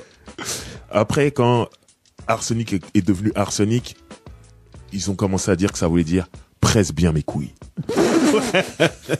J'ai- j'ai- J'aime beaucoup cette. euh, ça, ça, ça, j'aime bien. Voilà, mais euh, je sais en tout cas qu'en tant que PBMC, moi j'entends déjà, parce que moi je suis au lycée, et au lycée, quand on est en banlieue, euh, quand tu es au collège, tu es dans un, un, un collège qui est dans un quartier qui réunit des élèves d'un certain quartier, ok? Mhm. Mais quand tu es au lycée, quand tu es en Tous banlieue, euh, c'est plus seulement les quartiers, c'est même des villes, les villes des alentours. Il y avait des villes des alentours qui étaient, qui venaient dans notre lycée. Moi, mon lycée était à Sarcelles, mais il y avait des gens de Villiers-le-Bel, il y avait des gens des coins, il y avait des gens des Envilles, il y avait des gens de d'autres villes du 95 en fait, des alentours qui étaient là. Donc du coup, il y a des mecs de Villiers-le-Bel qui sont au lycée et qui viennent avec des cassettes, des maquettes, disent ouais, il y a des rappeurs de chez nous, les PBMC, écoutez. Et il y avait un morceau euh, qui s'appelait Où sont mes négros? Et euh, dedans, il parlait de justement du manque d'exposition de l'homme noir à la télévision Hmm. et euh, et du manque de reconnaissance. Et je sais plus, on doit être en 1995, 96, Hmm. et, et, et, et c'est dingue en vérité. Ce morceau pourrait sortir aujourd'hui encore. C'est ça qui est fou. Mais bref. Oui, parce ça- que c'est toujours d'actualité voilà, le sujet. Ça, ça, c'est encore un autre débat, mais voilà, moi quand j'écoute le truc, je dis putain c'est cool et je les connaissais pas. Mais euh, voilà, après, bref, je passe à autre chose et tout. Et en fait, il y a, on, en 1995, il y a Desch, qui est quelqu'un très important à Sarcelles, comme j'ai dit, qui va devenir plus tard le producteur de Sniper. Est-ce que t'as déjà vu son visage? Parce que euh, les Oui. cheveux devant, euh, on l'a jamais vu nous. Bien sûr, Ah, très bien. Mais moi, j'ai travaillé avec lui, j'ai, j'ai, mes premiers, certaines de mes premières maquettes, c'était avec lui. Donc, euh, Ouais. moi, je le connais bien. Et c'était vraiment une plaque tournante à Sarcelles et les environs. Parce que c'était un des premiers à avoir du matériel pour faire des beats. Il avait de quoi enregistrer chez lui et Ouais. tout. Donc, en vérité, tous les gens des alentours venaient. S'il produit Sniper, c'est pas pour rien. C'est que Sniper, à un moment donné, ils se sont retrouvés chez lui. Donc, euh, moi, j'étais là-bas. c'est pas loin. euh, voilà. Et du coup, Arsenic, Villiers-le-Bel, c'est pas loin de Sarcelles, c'est collé Ouais. à Sarcelles. À un moment, eux aussi se sont retrouvés à, à venir chez Desch parce que Desch, il décidait, il s'est dit c'est bon, je connais assez d'artistes maintenant, je vais sortir une compilation qui s'appelle l'art d'utiliser son savoir et euh, où il y avait des mecs de Sergi aussi dedans. Qui? Et euh, oh, là, c'était un freestyle avec légitime processus et il y avait des, il y avait des gens de Sergi qui étaient dedans. Alors Tout à l'heure en antenne, je te ferai écouter un truc euh, de mec de Sergi, de mon époque. Ouais. Ok, C'est pas moi, hein. ok. je te le dis. Donc, euh, en tout cas, voilà, Desch, il décide de faire cette compilation et il y a, il rencontre ce groupe de Villiers-le-Bel. Et à cette époque-là, là, je vais donner une news. Ne m'en voulez pas Calvo, ne m'en voulez pas Lino. Mais à ce moment-là, il ne s'appelle pas encore Arsenic. J'ai entendu cette histoire. À un moment, ils, ils ont, ils ont un nom de groupe. Je sais pas si t'as le même nom de groupe. On va vite. Ça, ça pas. Moi, j'ai le nom de groupe euh, où dedans il y a le nom d'un écureuil, d'un, d'un. euh, comment s'appelle la mascotte de Sega à l'époque euh, Sonic. Ah non, ça, je, je, je suis pas au courant, Ah. je ne connais pas. Bah, je te dirai le mien après. Voilà. Mais moi, je peux te dire, de source sûre, c'est que il s'appelait, avant de s'appeler Arsenic, à un moment, ils ont voulu s'appeler, en tout cas, ça a pas duré longtemps, Doux, dur, dingue. c'est pas du tout ce que j'ai. Et pour la petite histoire, c'est un film avec Clint Eastwood qui s'appelle comme ça. Mais à l'époque, Arsenic, ils sont trois. Oui, exact. Il y a leur cousin, Tony Truant, TNT. Donc euh, pour eux, il y avait le doux, le dur et le dingue. Alors je sais plus, je sais pas qui était qui, mais ils devaient s'appeler comme ça. Et euh, ils amènent un morceau à Desch. Enfin, ils amènent un morceau, ils font un morceau avec Desch et un, un autre beatmaker de Sarcelles qui s'appelle Cool A, dédicace à lui. Tous ensemble, ils font un morceau qui est pour moi le morceau classique de cette compilation. Le morceau il s'appelle Baltrap. Ah, mais évidemment, Incroyable morceau. Pour évidemment. moi, c'est le meilleur morceau du projet, de la compilation. Ok? Et euh, au dernier moment, ils disent non, on peut pas s'appeler Doudur dingue. Ils, trouvent arsenic, qui est donc un Et- poison. Et du coup, pour Arsenic, moi j'avais une version, je sais pas si elle est vraie ou pas, Mhm. c'est qu'au début c'était Arsonic, Sonic comme euh, la, la, la vitesse, et en fait comme personne n'arrivait à capter le truc, Mhm. de Arsonic, Arsonic, Arsonic, c'est devenu Arsenic. Peut-être. Je sais, je sais pas si c'est une vraie version que j'ai, attention. Du tout au courant de cette histoire, c'est possible. Hein. Envoie un message à Lino. On va te. Mais en tout cas, Baltrap, le morceau, il est incroyable. Ouais. Et ce que j'ai aimé, c'est que souvent dans les groupes, il y a toujours un canard boiteux, euh, il y a un mec qui est moins bon que les autres, Toujours. et tout. Et là, dans ce morceau, il y a trois couplets, trois entités, et les trois couplets sont forts. Mm. Et là, je me dis, oh merde, ça c'est, eux vont durer, il va se passer quelque chose sur ce groupe. Et euh, c'est là que Kenzie Sectora les remarque en fait. C'est suite à cette compilation et euh, il, il rentre en contact avec eux et décide de travailler avec eux. Après, c'est rentrer en contact avec eux, c'est simple parce que c'est les cousins de Passy. Oui, Voilà. mais ils sont dans le Bissau après d'ailleurs. Donc euh, voilà, donc tout ça c'est c'est assez familial. Donc euh, voilà, ensuite ils sont ils commencent à bosser avec Sectora et font des morceaux sur des grosses compilations dont Hostile, la Oui. fameuse Hostile où il y a le crime paix, tout ça, tout saigne de la clinique, il y a 96 là. L'enfer remonte à la surface. Un morceau incroyable où ils font le morceau, donc chacun fait son couplet, ils sont trois à cette époque-là. Et à la fin du morceau, le beat change et Lino part sur un morceau, un couplet incroyable. Kenzie dit, oh, arrête tout de suite. Calme-toi. Faut en garder pour la fin. Il faut garder pour la suite et tout ça. Magnifique. Et tu sens déjà que Lino, il est en train de s'affirmer déjà dans le groupe. Tu te dis, Mm. merde, il y a un problème avec ce mec-là. Ouais. Mais moi, je tiens à dire, parce que je suis comme tous ces gens passionnés de rap, on est tout le temps là, en bas, comme dirait Jay-Z dans un morceau Where I'm From, il, il- il dit, je viens de, de, de, de ce genre de coin où les mecs, ils prennent leur voiture, ils se garent sur le parking et ils, ils ont des débats sur le rap en disant qui est le meilleur MC, Biggie, Jay-Z et Nas, tout ça. Je fais partie de ce genre de personnes où on a eu plein de débats, plein de trucs, tu t'arrêtes, tu parles. On a tous des trucs comme ça. On, on a des amis qui aiment le rap, on parle de rap. Ouais, mais lui, il est plus fort, non, l'autre, non, non, non. Et je trouve qu'on a beaucoup sous-estimé Calbo, parce que Lino est très fort. Calbo gens- sur cet album voilà. est très très bon. Mais en vrai, Calbo son est, premier album. Calbo est bon. Oui. C'est juste que Lino est un génie. Mais c'est Bah, pas parce que Lino est génial que tout autour de lui est nul. Calbo est bon. Et écoutez Baltrap. sans manquer de respect à TNT, Tony Truant et Lino, mais moi, mon couplet préféré sur Baltrap, c'est le couplet de Calbo. Trois macaca takalaka, mon cerveau bouillaka yaka. On a l'impression que c'est que des bruits. Il dit quelque chose. Pour de vrai. Mais c'est parce que Calbo, il arrive avec, tu sais, avec une grosse voix, une voix de basse qui est, qui est lourde, tu vois. Donc, en fait, Mhm. Ouais. chaque mot, on les pèse. Mhm. Donc, c'est pour ça que lui, en fait, il a, quand il rappe, quand il écrit, il a le moins, entre guillemets, le droit à l'erreur Mhm. que avait euh, Lino par la suite, parce que sur le premier album, ils seront que deux. Ouais. Euh, il avait le moins le droit à l'erreur. Alors que comme Lino, il, est- il, il est beaucoup plus rapide avec, avec une voix un peu plus nasillarde et qui, il peut te faire une phrase avec plein de mots. Mhm. S'il y a des trucs qui sont pas terribles, on va, on va, on va laisser passer parce qu'il y a des choses bien derrière. Ouais, non. Moi, l'assemblage Calbo et Lino, parce que tout doucement, comme vient de le dire Hubert, ils vont devenir deux, c'est, c'est parfait. Tu vois, je veux Ah oui, dire, bien on sûr. va parler de cet album quelques gouttes C'est suffisent. un peu le yin et le yang. Euh, hein. c'est parfait. Non, moi, je trouve qu'ils sont tous les deux dans la même veine. C'est pas, il y a pas un que- y a pas un gentil et un méchant. Ouais, quand je dis Euh, yin et yang, c'est pas forcément euh, le bon et le mauvais, c'est juste que c'est deux façons différentes, deux Voilà, trucs voilà. différentes qui s'emboîtent Ça parfaitement. s'emboîte parfaitement. Donc voilà, c'était juste pour rétablir ce truc. Calbo est un bon rappeur. Voilà. Oui. Je l'ai dit. Dans première consultation, son morceau avec euh, euh, Non, non, euh, liaison dangereuse. ah, dans Liaison dangereuse, excuse-moi, son morceau avec Rockin' Squat, Ouais. c'est une tuerie. Il est dingue ce morceau. Ouais. Il est dingue sur la reprise de Hey Joe. exact. Mais en tout cas, voilà, moi, ils commencent à faire leur bruit sur Hostile avec l'enfer remonte à la surface. Ils ont un autre morceau qui s'appelle Rime et Châtiment qui est sur L432, Ouais. qui est, qui est aussi un très bon morceau. Euh, bref, ils font leurs armes dans les compilations et euh, franchement, ça se passe bien. Je parlais du troisième TNT euh, qui sera plus dans le groupe, mais pour moi TNT c'était la folie sur scène quand il était sur scène.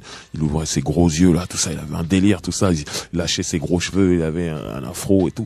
Bref, il se passe vraiment un truc sur ce groupe. Et puis Kenzie, faut savoir que là, à ce moment-là, Doc Gineco, c'est un carton, c'est un raz de marée. On va en parler après. Mm. Euh, Stormy Bugsy marche en solo. Passy marche en solo. Donc Kenzie, il a un peu cette image qu'a Dr. Dre aux États-Unis où Ah, t'es signé chez Dre? Ça va être bien. Ouais. Tu vois ce que je veux dire? Si Dre t'a signé, c'est que t'as quelque chose, ça va être bien. Donc là, Kenzie, il apparaît en disant j'ai signé un nouveau groupe, Arsenic. Tout le monde dit ok, ça va être bien. Et les mecs ils font leur truc sur les compiles, ça se passe plutôt bien, donc ils commencent à avoir une attente sur un premier album, tu vois. Et puis voilà. Ah, oui, je te confirme. Et là, l'album Quelques gouttes suffisent pff, arrive. Classique. Classique de chez classique. On voit ces deux mecs habillés en Lacoste, assis sur un canapé. C'est- En fait, euh, je pense que c'est. Tout à l'heure, je parlais pas si avec les baskets blanches, mais au final, ceux qui représentaient le plus le 95 au niveau vestimentaire, Ouais. c'était eux. Après, moi, je trouve que ça va plus loin que le 95. Ce truc de Lacoste, c'était vraiment un truc de mec de cité Ouais, dans aussi, la ouais. France entière. Et je pense que aussi. rien que ça, là, ça a touché plein de gens dans toutes les cités de France. En, en vrai, Arsenic, c'était le premier groupe euh, Kaira grand public entre guillemets. C'est-à-dire que c'est le premier groupe Kaira qui passe à la radio. On peut, on peut voir ça comme ça aussi. Moi, Après- moi, c'est comme ça que je l'ai pris, tu vois. Après, comme dirait Daddy Lorty, Kaira avec du génie. Parce que les plumes de ces deux mecs-là, c'est pas juste je crache la cité. Voilà. Attention, quand je, quand je dis Kaira, c'était pas, l'imagerie, une- l'imagerie, les mecs arrivent en Lacoste de la tête aux pieds, c'est Kaira, mais c'est important, il y a Kaira, il y a Kaira avec du génie. Ouais. Big up Daddy Lorcy pour cette phrase parce qu'elle est magnifique. Et pour moi, Kaira avec du génie, c'est t'es pas là tout le temps en train de dire wesh wesh wesh wesh wesh tout le temps. Ah bah, c'est un moment ouais. t'écris, c'est construit et t'apprends des choses. Ah, bien Et sûr. pour moi, Arsenic, c'était ça. Mais c'est c'est ce que je disais. Moi, quand je te dis que c'était euh, Kaira, euh, le premier Kaira Ouais. qui touche le grand public, Mhm. c'était, j'étais pas en train de te dire, Non, euh, non, c'est des mecs euh, analphabètes. On est d'accord. Moi, c'est plus pour Je suis en train de te- les enfin, gens qui ne Les Kaira connaissent sont pas forcément analphabètes, plus- c'est pas ce que je dis, mais. Non, toi, tu sais, tu, tu connais l'album. C'est plus sur les Ouais. gens qui connaîtraient pas cet album. Ouais, d'accord. Euh, vous attendez pas à entendre Ouais, qu'est-ce qu'il y a? Wesh, Non. ouais, ouais. C'est pas ça. C'est Ah, écrit, c'est c'est des grands, c'est des lyricistes les mecs. Mais aujourd'hui, c'est-à-dire que m- pour moi sur cet album, de toute façon on va en parler, mais pour Mhm. moi sur cet album, au final le morceau le plus fort, Mhm. ça n'a pas été un single. C'est lequel pour toi Saison blanche et sèche, énorme celui-là. qui est euh, C'est Un- folie. C'est la une- guerre. c'est la guerre et qui est toujours d'actualité. C'est Ouais. un- tu parlais de génie d'écriture Mhm. dans une saison blanche et sèche, Mhm. c'est c'est incroyable. C'est Ouais. incroyable à quel point c'est bien écrit. Ah. à quel point encore aujourd'hui tu le réécoutes et tu vas comprendre des choses que j'étais au, au collège donc je, com- je comprenais pas tout euh, le Mhm. morceau que, que je préférais à cette époque-là c'était euh, le euh, le monde euh, Euh, avec Yannick, Même si Yannick, ouais. c'était. Ouais, un- j'avais de l'avant. Oh, j'ai un, j'ai un, j'ai Ah, un trou. Oh la honte. ta route, lâche pas ton plan. Tu- tu- Non? Ouais, bah voilà, bah celui-ci. Ouais. C'est trop la honte, je, je sais plus. Bref, euh, parce qu'il passait en bourse au Skyrock. Mais quand j'ai eu l'album, bon, euh, je le dis, j'ai eu en, en- le, la première fois que je l'ai eu, c'était en, en CD euh, euh, gravé. mais quand j'ai eu l'album, une saison blanche et sèche, ça m'a touché directement. Ouais, ouais. Et j'ai dit putain, en fait, en fait, c'est celui-là le meilleur morceau. Allez, faut- on a, on a plusieurs morceaux préférés. Un monde parfait. Un, Un monde, monde parfait. Eh, c'est trop la honte. Ouais, merci, ça- merci Ça Hugo. arrive. On parle d'un album qui est sorti en 1998, les gars. C'est normal d'avoir des Ouais, mais, mais c'est, ça a été le gros succès de cet album, le gros single, Un monde parfait. Non, c'était, c'était, c'était comme. Plus que je boxe avec les non, c'était, non, le gros single, c'est avec Doc Gynéco, mec. C'est affaire de famille. Ah, Ah oui, oui. c'est vrai, c'est vrai. Voilà. l'affaire de Mais famille c'est ce que je dis tout à, c'est ce que je disais tout à l'heure, c'est que c'est cette époque où Skyrock jouait des morceaux même qui étaient pas les singles, qui étaient pas clippés. Ce Ouais. morceau avec Yannick n'était pas clippé, il tournait en boucle. Ah, il tournait en Donc euh, boucle, oui, il était, il était important. Mais quand tu mettais la télé, c'était rime dégueulasse, des histoires Histoire de, de slash ou slash t'en donne pendant deux heures. Oh, je me croirais à Boujala. Voilà, avec un clip justement où il y a tout le secteur A dedans. Et qui, est- et qui me fait penser aussi à cette, euh, à cette couverture de Groove Magazine où, où tu vois tout le secteur A, donc tout le monde en costard, pris en photo. Enfin, c'est super, euh, super. euh, l'esprit du clan. oh. Donc Oh, voilà, en gros, Arsenic, voilà, le premier, le premier album, un succès. Ah oui. Ils en vendent beaucoup. Euh, Mais il faut dire que c'est un succès parce que c'est mérité. L'album, il est moi, mais costaud. Tu vois, on- le mot. Moi, je sais un que monde parfait. Il y a le jeu boxe avec les mots. T'as parlé d'affaires de famille, une saison, une saison blanche et sèche. Il y a, il y a plein d'autres morceaux dedans. Et cet album, c'est comme t'as dit du Kaira génie. Ouais. Et moi, je me rappelle dans notre coin, putain, dans toutes les voitures, il y avait l'album Ar- d'Arsenic. Et c'est pas comme aujourd'hui où, avec euh, les téléphones et tout ça, on écoute énormément de musique et tout ça. À l'époque, t'avais un album, tu le saignais pendant longtemps. Et ça fait que moi, Arsenic, dans Gare Sarcelles, Ville-et-le-Bel, pendant trois ans, peut-être, il tournait le même album dans les voitures. T'entendais, t'entendais, t'entendais. Et il y a le morceau avec Passy, par où t'es rentré? Exactement. Qu'est-ce qui se passe là-haut Donc pareil, qui tournait à la radio. De toute façon, il y bien plusieurs morceaux de cet album qui, qui, qui tournaient à la radio. Ensuite, il y a eu le deuxième album, Quelque chose a survécu, Qui avec euh, euh, une belle pochette. toute rouge. Voilà, euh, j'aimais beaucoup l'artwork. Après, euh, c'était c'est très dur en vérité. Quand a t'arrives avec un premier album classique, c'est dur de cogner aussi fort. Mais l'album était solide. Il y avait des morceaux dedans. Je pense à Poison, P-O- Ouais. P-O-I-S-O-N. bah, très up tempo, très. Euh, Sulibi Wax. ouais, voilà, c'est très sulibi. Ouais, c'est très sulibi. Ouais, Voilà, il y avait, euh, il y avait Je t'emmerde. ouais exact. Qui était, euh, qui était cool. Il y avait un morceau qui me faisait bien rire où ils étaient plusieurs dessus. Où euh, Lino il fait la technique de l'homme sous en référence à, À Jackie Chan. Bien sûr. Je sais plus comment ça s'appelle ce morceau, il était magnifique. Où il y a un mec qui, le mec qui double les voix d'Eddie Murphy, qui fait les, les interludes entre Exact. chaque rappeur. tout. Exact. C'était cool. Il dit je suis du Wu-Tang Clan Campbell. non, Lino. Non, mais génie. Lino, c'est Un génie, c'est un génie. Là, il avait ça, il y avait, il y avait ce morceau avec Reza de Wu-Tang, justement, Ouais. aussi. euh. Il y avait, il y avait, il y avait- l'album Après, était après, l'album a, a moins été euh, bien accueilli. Regarde le monde, comment j'ai pu. Regarde le monde. Ou d'ailleurs, euh, c'est Calbo qui met sa, sa fille ou son fils. euh, Ah, ouais, bien sûr. Ah, L'album Qui a était été un single d'ailleurs, Regarde Ouais, le monde. hein. Ouais. L'album était solide. Il y avait Mais il était pas eh, le affaire de famille, je non sais pas après. il y a, il y a un autre truc, c'est que tout à l'heure on parlait que à quel point euh, euh, Skyrock avait poussé le secteur A. Skyrock n'a pas énormément poussé cet album. Je- C'est vrai que il jouait les singles. Voilà. Alors que Et ça- et sur ça- l'album d'avant, il jouait même ceux qui étaient pas les Et ça, singles. et ça, et ça, et ça change beaucoup de choses.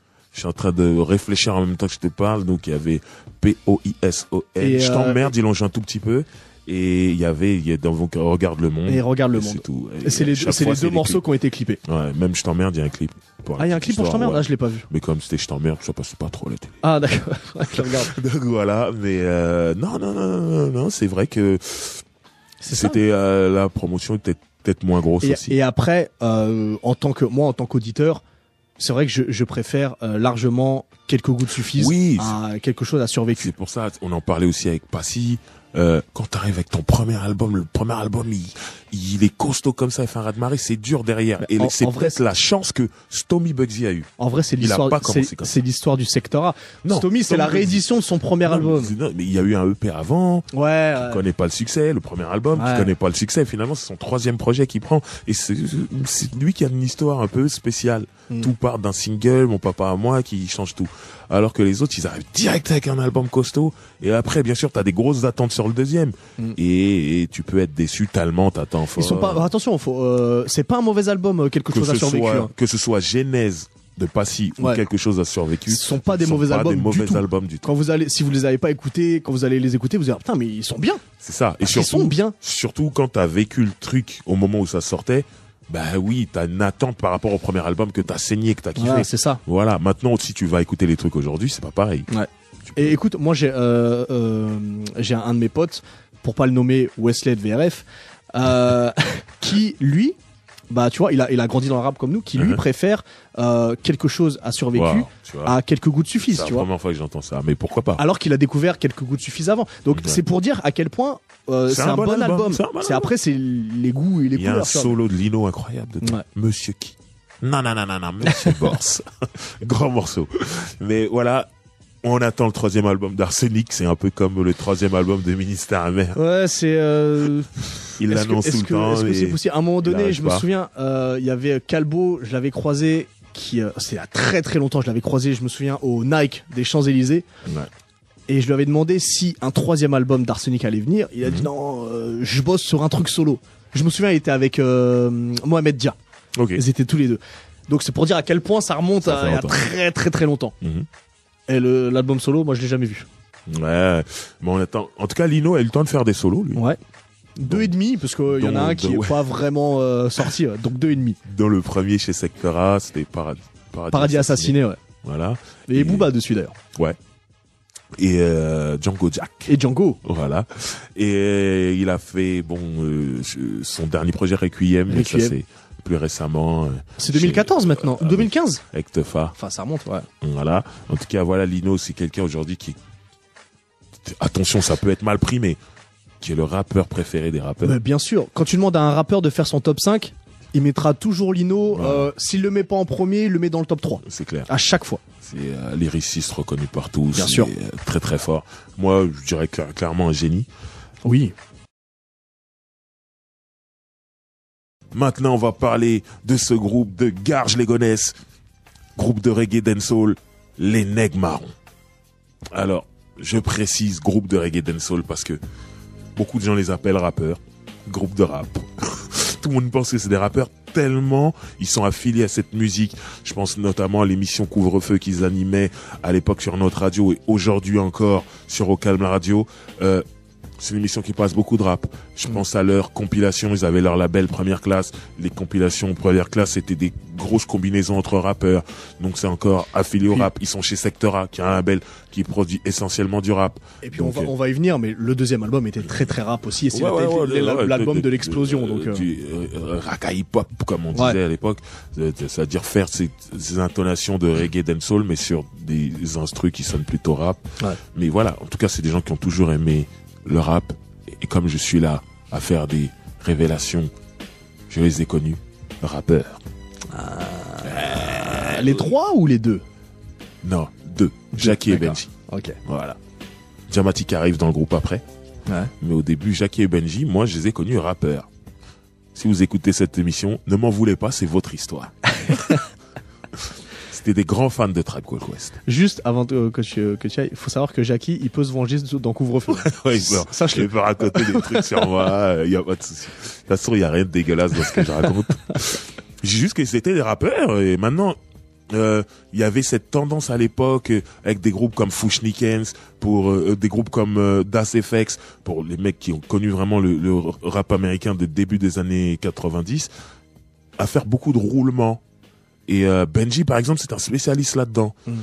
Et y a, tu peux pas faire ça dans le rap et pas aimer euh, le dancehall, le reggae dancehall, parce que eux, les roulements, vas-y, ils en font depuis toujours. Et euh, voilà, donc euh, il n'y avait qu'un pas en fait. Et à un moment, au moment où ils ont sauté le pas de devenir vraiment un groupe de reggae dancehall, Euh, je pense que c'est là que les choses sérieuses ont commencé. Et euh, je pense donc à cet album, euh, La rue Cazenègre. Mm. Voilà qui est un album de reggae dancehall, il doit avoir un, un ou deux morceaux hip-hop chez Ouais. lui, notamment le tel une bombe avec tout le secteur là. Mais euh, il me semble que dès le premier album, il travaille avec Tyrone Donny, qui est une pointure du reggae. Oui. Euh, le mec a travaillé avec The Wailers, c'est c'est c'est le gars- un des groupes de, de, de Bob Marley. j'allais dire Bobby Brown. Ah. Bob Marley, désolé, rest in peace Bob Marley. C'était pas les mêmes messages, Bobby Brown. hein. C'est pas pareil. C'est pas pareil. Mais voilà, en tout cas, ils, euh, le premier album est super bien produit. Mais il faut savoir que pour la petite histoire, eux, ils viennent clairement du même quartier que Kenzie, qui est l'un des boss du secteur A, à Garges, la commune de Paris, pour Ouais. être euh, bien précis, qu'ils ont rebaptisé après eux-mêmes la rue Cazenègre. Mais c'est euh, vraiment, voilà, ils viennent du même quartier. Donc en vérité, euh, Kenzie les voit depuis qu'ils sont petits. Ouais. Tu vois ce que je veux dire? Après, comment ils les découvrent, tout ça, faudrait leur demander. J'étais pas là, mais en tout cas, c'était un truc qui était assez logique. Surtout qu'on a une époque, le début des années 90. C'est pas comme aujourd'hui, il y a pas beaucoup de gens qui font de la musique dans Mm. les banlieues. Ouais. Ça veut dire les quelques groupes de rap, de reggae, dancehall, de R&B ou je sais pas quoi. Quand ils existent, ils sont faciles à identifier, tout le monde se connaît. Ouais. Ok? Donc voilà, c'est pour moi c'était assez logique euh, qu'il y ait une affiliation entre Negmaron et Kenzie, mais il fallait la bonne musique. Ouais, Exactement. Parce que Kenzie te produit pas comme ça pour te faire plaisir. Ouais. Il faut qu'il sente Ah. que ça va, ça va avoir du succès ou quoi. Sectora, c'est son côté Puff Daddy, ça. Oui, voilà. Donc, euh, je suis d'accord avec ça. C'est de la production. C'est Bien pas, sûr. on n'est pas assistante sociale, tout ça. Donc, euh, big up Kenzie, big up Bouboule, hein. Ouais. Bouboule, très important aussi. Big up des gens comme Waf. Tout ça, c'est des gens qui étaient derrière, les gens de l'ombre. C'était pas les artistes, c'est les gens qui sont derrière. C'était des têtes pensantes. Ouais. Parce que quand on fait des disques, c'est pas juste les mecs qui rappent et on les sort. Faut penser à savoir comment on va les vendre, tout le marketing qu'il y a à faire autour. Et il y avait des gens qui sont des mecs de banlieue, des mecs de Garges, des mecs de Sarcelles, des mecs qui arrivaient à réfléchir à tout ça et big up à ces mecs-là parce que c'est des modèles. Ouais. Quand on a vu qu'ils l'ont fait avec réussite, il y a plein de gens qui se sont dit ah moi aussi je vais être manager, moi je vais être producteur, tout ça. Ils ont ils ont créé des vocations. Donc ça c'est c'est très important de dire tout ça. Maintenant pour en revenir à Negmaron, l'album Rue Cazenègre, il est avec Diamatic, c'est très important. Mm. Ils sont trois, Benji, Jackie et Diamatic. Diamatic lui, il arrive directement avec un truc très reggae dancehall Ah, tout de suite. clair. Voilà. Et tu le sens dans la voix, de Voilà. toute façon. Lui, je pense pas qu'il était rappeur. En tout cas, je l'ai pas connu comme ça. Et euh, c'était, c'était cette touche, cette touche était très importante. Mm. Ensuite, euh, ils se séparent et il y a que Jackie et Benji ensemble. Et sur le deuxième album qui s'appelle Le Bilan, il y Ouais. a marqué Jackie et Benji des Ouais. Marrons. C'est ça. Très important. C'était un peu pour marquer la séparation. Et euh, le, le deuxième album, je suis passé très vite sur le premier, mais de toute façon, on va écouter un morceau du premier. Mais euh, tu voulais dire quelque Je chose voulais sur dire un truc sur le premier. Il faut voir qu'ils avaient aussi un single dans la BO de Rai. Oui, tout a Euh, commencé là. Ouais. C'est euh, la monnaie ou Left La monnaie. C'est la monnaie, ouais. C'est très- Rai. Très bien que tu dis ça, parce que ce film Rail, il a été tourné à Garges, la ville des Nègres Marrons. Voilà. Donc à un moment donné, ils avaient le, le plug, comme on dit aux États-Unis, pour euh, mettre leurs chansons dedans. Moi, je me Et rappelle. c'est l'un des premiers films sur la banlieue. fait- Enfin. C'était à même l'époque la haine. mecs- ouais. Les deux, euh, les sortent à peu près à la même Ouais, à période. peu près la même période. Euh, après, c'est deux films totalement différents. Oui. Euh... Euh, dans l'un, il y a Tabata Cash qui est très très bien. Tabataka, j'étais à Garges-les-Gonesse, juste Voilà. à côté de Sarcelles, comme ça. Moi, et je ne l'ai pas vu. Et je crois que c'est le premier film où je vois Samina Seri. Euh, Ouais. Pareil. ouais. Dans un rôle incroyable. Ils Ouais. ont volé un cheval. Oui, c'est ça. Ils essaient de le vendre, c'est compliqué. non, mais. euh, fin du ça acheté. voilà, mais Enfin, je sais pas. hein, je- n'importe quoi. en tout cas, ouais, c'est très bien que tu dis ça. Voilà. Moi, je me rappelle que à Garges Sarcelles, c'est un événement. Donc, ils font la monnaie pour le film Rail. Ouais. Il y a un clip qui est fait. Et je me rappelle, la, la nouvelle se répand comme une traînée de poudre dans Gare Sarcelles. Ce soir, dans le boulevard des clips sur M6. Le boulevard des clips, c'était une émission où ils enchaînaient plein de clips la nuit. Faut, ra- faut rappeler que M6 à la base, ça passait énormément la de musique. Musicale. la chaîne Il n'y avait musicale. pas encore le câble, c'était pas développé comme Avec aujourd'hui. des clips tout le temps. Voilà. Et je me rappelle un samedi soir, tout Gare Sarcelles est au courant que ce soir, sur M6, dans la nuit, les nègres marrons, leur clip va passer. Un clip dans une maison. euh, Et nous, on était très tous- belle maison. ouais. Et le problème de, de, de Boulevard des clips, c'est que ça, ça pouvait commencer à minuit et terminer à 4 heures du matin. Ouais. Et c'était des clips enchaînés. Donc Negmaron, tu sais pas si ça va être à minuit ou à 4 heures du C'est ça. matin. Il n'y avait pas de programme. Donc on était là comme des cons de minuit à 4 heures du matin, les yeux ouverts comme ça, en train d'attendre et tout. Et à un moment, le clip passe et on voit, on dit ah, et on reconnaît des gens. Ah ça c'est un tel, ah ça c'est un tel, ah il est là cet enfoiré, ah lui je l'aime bien, ah lui je l'aime pas. C'est ça en vrai. Tu connais les mecs, ah, ah, moi j'ai une embrouille avec lui, ah lui je l'aime bien, c'est mon pote. On a fait un business ensemble. Et c'était, moi ce que je veux dire c'est que c'était cool. C'est comme quand ministère amer, il y a le clip très qui Traître, passe dans. C'est cool de mettre la télé et de voir des gens que tu connais. Ouais. Mais sauf que pour nous maintenant, ça commence à devenir une habitude, Sarcelle. Tu vois ce que je veux dire? Ouais. Parce que euh, ministère amer, il l'avait déjà fait. Maintenant, il y a Neg Marron et tout. Et nous, on se dit ah ouais, c'est cool. Mais moi, je rappe déjà à ce moment-là. Donc en vérité, quand je vois ça, j'attends mon tour. Je me dis ah bah moi oui. aussi bientôt. Mais c'est bien. Tu vois, tout à l'heure, je te disais, ministère amer, ils m'ont donné envie de rapper parce que ils ont rendu le truc possible, Possible. pour un mec de chez nous d'être à la radio. Ouais. Ben, Neg Marron, qui sont plus ma génération à moi, parce que ministère amer sont plus vieux que nous, ils ont amené un autre truc. Ils m'ont pas donné envie de rapper parce que je rappais déjà, mais ils m'ont conforté dans le fait que On oui, c'est possible. Ouais. Parce que les autres, c'est mes grands, ils sont passés, mais eux, Negmarons, ils ont mon âge. Ouais. Et ils sont là à la télé. Moi aussi bientôt. Et rien que ça, là, c'est un cadeau. Ah bah c'est clair. Faut le prendre comme ça. Mm. C'est un cadeau. Donc, big up Negmaron pour ça. Ensuite, l'album arrive. Ils sortent, euh, donc, il y a le single, c'est Lève-toi, bats-toi, qu'on va Ouais. écouter juste après. Super, beaucoup. Super morceau. L'album est cool. Il y a un morceau qui s'appelle ANPE. Ils ont rebaptisé Aucun nègre pour l'emploi. Ouais, ouais, exact. il, pose des diffi- il parle des difficultés des noirs pour trouver un boulot et tout. Et euh, le morceau est vraiment euh, réussi. Et le morceau Je ne sais lequel choisir. Exactement, c'est le fameux morceau. Avec China. Ouais, pour la Ouais. version de l'album, c'est pas avec China China, c'est le remix. Ah moi je connais que le remix. Mais euh, ouais, c'est le clip en tout cas, c'est la version avec China et c'était super cool, c'était Ouais. bien. On voit les trois nègres marrons parce que c'était trois ce moment-là. Ils essaient de convaincre la battre fille. Ouais, ils se fille. battent. Et la fille c'était China dans, dans le clip et tout et c'est cool. Là, il y a vraiment des bons morceaux. Moi, il y a un morceau que j'aimais beaucoup qui s'appelle Dawa. Oui. Exact. que j'aurais aimé passer mais euh, Encore une fois, tu vois, euh, Dawa, c'est un mot qu'on utilisait tous, Ouais. mais qui a été popularisé en fait par le secteur A. Et c'est encore une fois pour ça que c'est vrai qu'il l'utilisait on- beaucoup. euh, tout le temps. Ouais. Euh, et, et du coup, on se sentait encore plus proche d'eux parce que même si c'était à Sarcelles, on a l'impression que c'était comme si c'était chez Bien nous. sûr. Et donc c'est pour ça qu'ils étaient très proches. Tous les tous ceux qui ont écouté le rap de mi 80 de ma génération, hein, de euh, fin 90 début 2000, Mhm. tout le monde se retrouvait chez eux. Voilà. Et euh, le morceau Dawa, c'est- on a l'impression que c'était J'a- écrit pour. J'adore ce morceau. Bah ouais. Et pour la petite histoire un peu de, de, de, de culture arabe, ça vient du mot darwa, avec l'accent. Est-ce que nous, la francisé dawa Mais en fait, c'est darwa. Et euh, voilà, ça veut dire le bordel. Et j'adorais ce morceau. Bref, il y a, y a plein de, de, de beaux petits morceaux, mais cet album, en fait, il marche dans le temps. Il écrase pas tout au niveau des chiffres tout de suite. Il marche dans le temps. Je pense que il a dépassé le disque d'or dans le temps, mais à l'époque, ça, ça arrive doucement. Il a dépassé le disque d'or? Ouais, il me semble. Ah, Ok. Voilà. Mais euh, à l'époque, c'est doucement en fait. C'est pas le succès immédiat. Mais en- encore une fois, on est à cette époque et ça passe pas énormément sur Sky. euh, Lève-toi, bats-toi, ça passe. Ça mais, passe, Mais ça passe. c'est pas poussé énormément. Mais euh, ouais, mais mais mais après, ils avaient peut-être pas le gros tube. Et le gros tube Ouais. Marrons, il arrive sur le deuxième album, Ah bah, été un raz de marée le deuxième album. hein. qui porte bien son nom. Ah bah ouais, Le bilan. le bilan. Et justement, le premier single, c'est le bilan. Ouais, Et quel morceau super. Une, une mais on on a- on n'a pas l'impression comme ça, mais la mise en scène du clip, où Ouais. t'as Jackie et Benji qui sont vieux, qui, Ouais, qui se interviewés, qui se racontent en fait. Et, euh, et c'est super bien fait, tu vois. Ah, Big Up Squall qui a réalisé le clip. C'est quelqu'un avec qui j'ai beaucoup bossé aussi. Donc euh, big up à lui. Et ce morceau, moi, dès que je l'entends, je dis tube.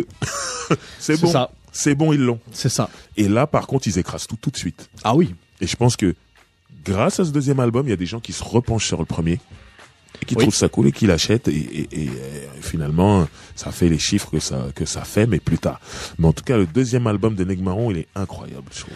Et, et en fait, bon, tout à l'heure je disais qu'il était plus rap dans la façon Ouais, de faire, mais musicalement, il y a plein de choses. Il y a des, bah, en plus, toi qui aimes, il y a des rythmes un peu latinos sur Ouais. euh, salsa, euh, euh, reggae salsa, je crois que c'est le, le nom du morceau, Mhm. bon que j'adore. Hein, mais en fait, il y a plein de, Oui, c'est plein de trucs différents. Il y a le morceau Pyromane avec euh, avec Fayadi, je crois. Ouais. Enfin, il y a, y plein de trucs Big différents. Il y a plein de trucs. Et cet album est est une richesse musicale Ouais. et textuelle parce que les, les textes, moi j'ai toujours préféré la plume de Jackie à celle de Benji. Euh, Benji écrit bien aussi, mais j'ai toujours préféré celle de Jackie. Et il y en a Mhm. une de Jackie où euh, je sais plus le titre. où il raconte qu'il il raconte ce qui se passe en bas de sa fenêtre quand il se penche en bas de sa fenêtre, tu vois. Ouais. Et c'est super bien raconté. On- Encore une fois, j'ai l'impression de vivre la même chose, tu vois. Ouais. Donc c'est euh, c'est super bien fait. la puis, euh, rue, il raconte ouais, euh, voilà, la vie j'adore. de quartier. Et il y a bien sûr le morceau Ça défouraille pour un oui, pour un non, là, Eh qui, oui. qui tournait bien à la radio. il faut que ça saigne que ça avec, la avec la FF. Oh là là là là. Et donc, euh, ouais, non, non, c'était, l'album était costaud, c'est le mot. C'était, l'album Ah ouais, était costaud. était costaud. Et ils ont eu les chiffres derrière, et voilà, et c'est cool. Ça dégénère, pas ça défroie, c'est ça dégénère, je crois. Ouais. C'est ça dégénère. Et ben c'est Ouais. celui-là où il dit, Ouais, regarde ce qui se passe. Ah, moi, je suis toujours en train de changer les mots, moi. Mais en tout cas, il y a un truc qui est très important, c'est que les necks marrons sont très forts sur scène. Ah Oui, oui. ça depuis le début. Ah c'est clair. Et ça leur fait faire énormément de tournées. Et moi, du coup, je, je me rappelle qu'ils avaient fait la tournée de Fugees à l'époque Oui. de, de Score. Exact. Et il faut savoir que dans cette tournée, en première partie, ceux qui ouvraient le bal, c'était les necks marrons. Et après, il y avait un jeune rappeur, Jay-Z. Non. Oui, monsieur. Ils sont passés devant Jay-Z. C'était avait- 96 ça, parce que c'était avant le bilan qu'ils ont fait le. Ouais, ouais, ouais. C'était ouais. l'époque du Bah, premier album Score. necks marrons et The Score pour Fugees. Ouais. Donc les stars, c'était Fugees. Ah bah oui. Et il y avait, il y avait les premières parties, c'était Neg Marron et, et, Et Jay-Z. et Jay-Z. quoi. Je me Ouais, rappelle, ouais. Je me rappelle d'une date à, à l'Élysée Montmartre. euh, Il me semble que c'était ça, à l'Élysée Montmartre. Bah c'est la- date où euh, où, euh. où, Pras a perdu sa euh, sa montre ou son bracelet à je sais plus combien de. Ça, ça arrive tellement souvent aux Américains, ça. Ouais. Je sais pas pour qu'ils viennent avec des bijoux sur scène. Parce qu'ils pensent que la France, on, quand ils viennent à Paris, que c'est des baguettes et des bérets. Ah ben maintenant ils savent. en tout cas, ouais, non, il y a non, il y avait Jay-Z sur cette tournée. Ah ouais. Et les Marrons faisaient du coup énormément de concerts parce que bien sûr, tous ceux qui les voyaient, même les promoteurs de, de concerts, tout ça, les mecs des salles, ils disaient, ah, ils sont bons, on va les mettre. Et ça fait que ça se passait su- super bien sur scène. Donc du coup, ils faisaient beaucoup de concerts et ils ont réussi à capter un public comme ça. Ouais. Ensuite, ils ont sorti l'album d'après où il y avait le fameux Tout le monde debout que la fête commence avec Mister Vegas. Ouais. Classique jusqu'au Gros, morceau. Ouais, bien sûr. Tu le mets, tu le mets, tout le monde, tout le monde normal, danse. comme s'il venait de sortir. Ouais. En tout cas, voilà, Neg Marron, c'était une pierre en plus du secteur A qui brillait, qui marchait. Et euh, voilà, c'est ce que je disais en début d'émission, c'est que c'est vraiment un crew où presque tout le monde a eu du succès Mais c'est ça. en même temps. Et un petit mot sur Jamatic. Lorsque Ouais. euh, il a quitté les Neg Marrons, Ouais. il a fait cette compile euh, Jamatic Connection Exactement. avec bah, plein de gens du secteur A, à part les Neg Marrons, qui n'étaient Ouais. pas dedans, Mhm. euh, et qui est un super album. J'étais pas forcément fan de reggae, Mhm. mais dans, dans, dans cette compile, il y a le morceau avec Tonton David qui est extraordinaire, il y a le morceau, il y a Passy. avec Yannick. Oh, je, lui ai offert la lune. Elle voulait le soleil. Ah ouais, quel Magnifique. morceau. Ouais, ouais. Magnifique. Mais j'adore le, le euh, celui aussi avec Stomy qui est super bon où il se dispute une meuf avec. Ouais, euh, ouais. Enfin, Mais moi, j'ai une anecdote ah bah heureusement. J'ai qui envie me de te dire. concerne, Ah, que j'ai déjà raconté, mais j'adore la raconter parce que c'est incroyable. c'est quand t'as vu Nas. Non, Non. Ça, ça, on s'en fout, c'était pas incroyable. Jamatic, son artiste de reggae dancehall préféré, c'est Buju Banton. D'accord.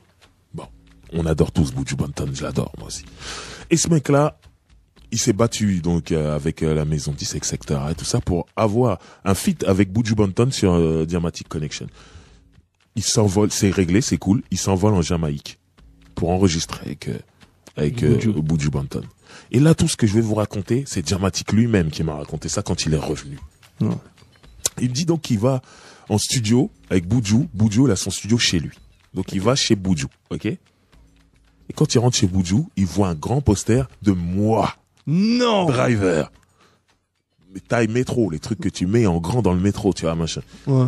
Et lui, il est choqué. Il dit, mais qu'est-ce que, mais qu'est-ce que ça fait là? La, la pochette de euh, Grand Chelem? Ouais. D'accord. Il dit, mais qu'est-ce que ça fait là? Ouais. Il dit, pourquoi? Il dit, mais parce que le mec qui est là sur ton mur, c'est mon pote. C'est un gars de chez moi. Elle lui dit, ah ouais, bah, ça tombe bien. C'était quand j'étais en France.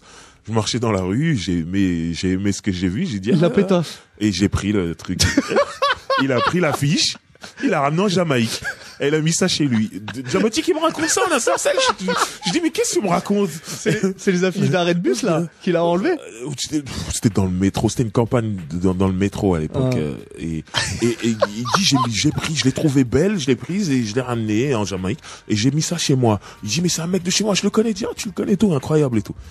Et euh, C'est fou quand même. donc c'est fou que moi, quand il rentre, il me raconte ça. hein. Ouais.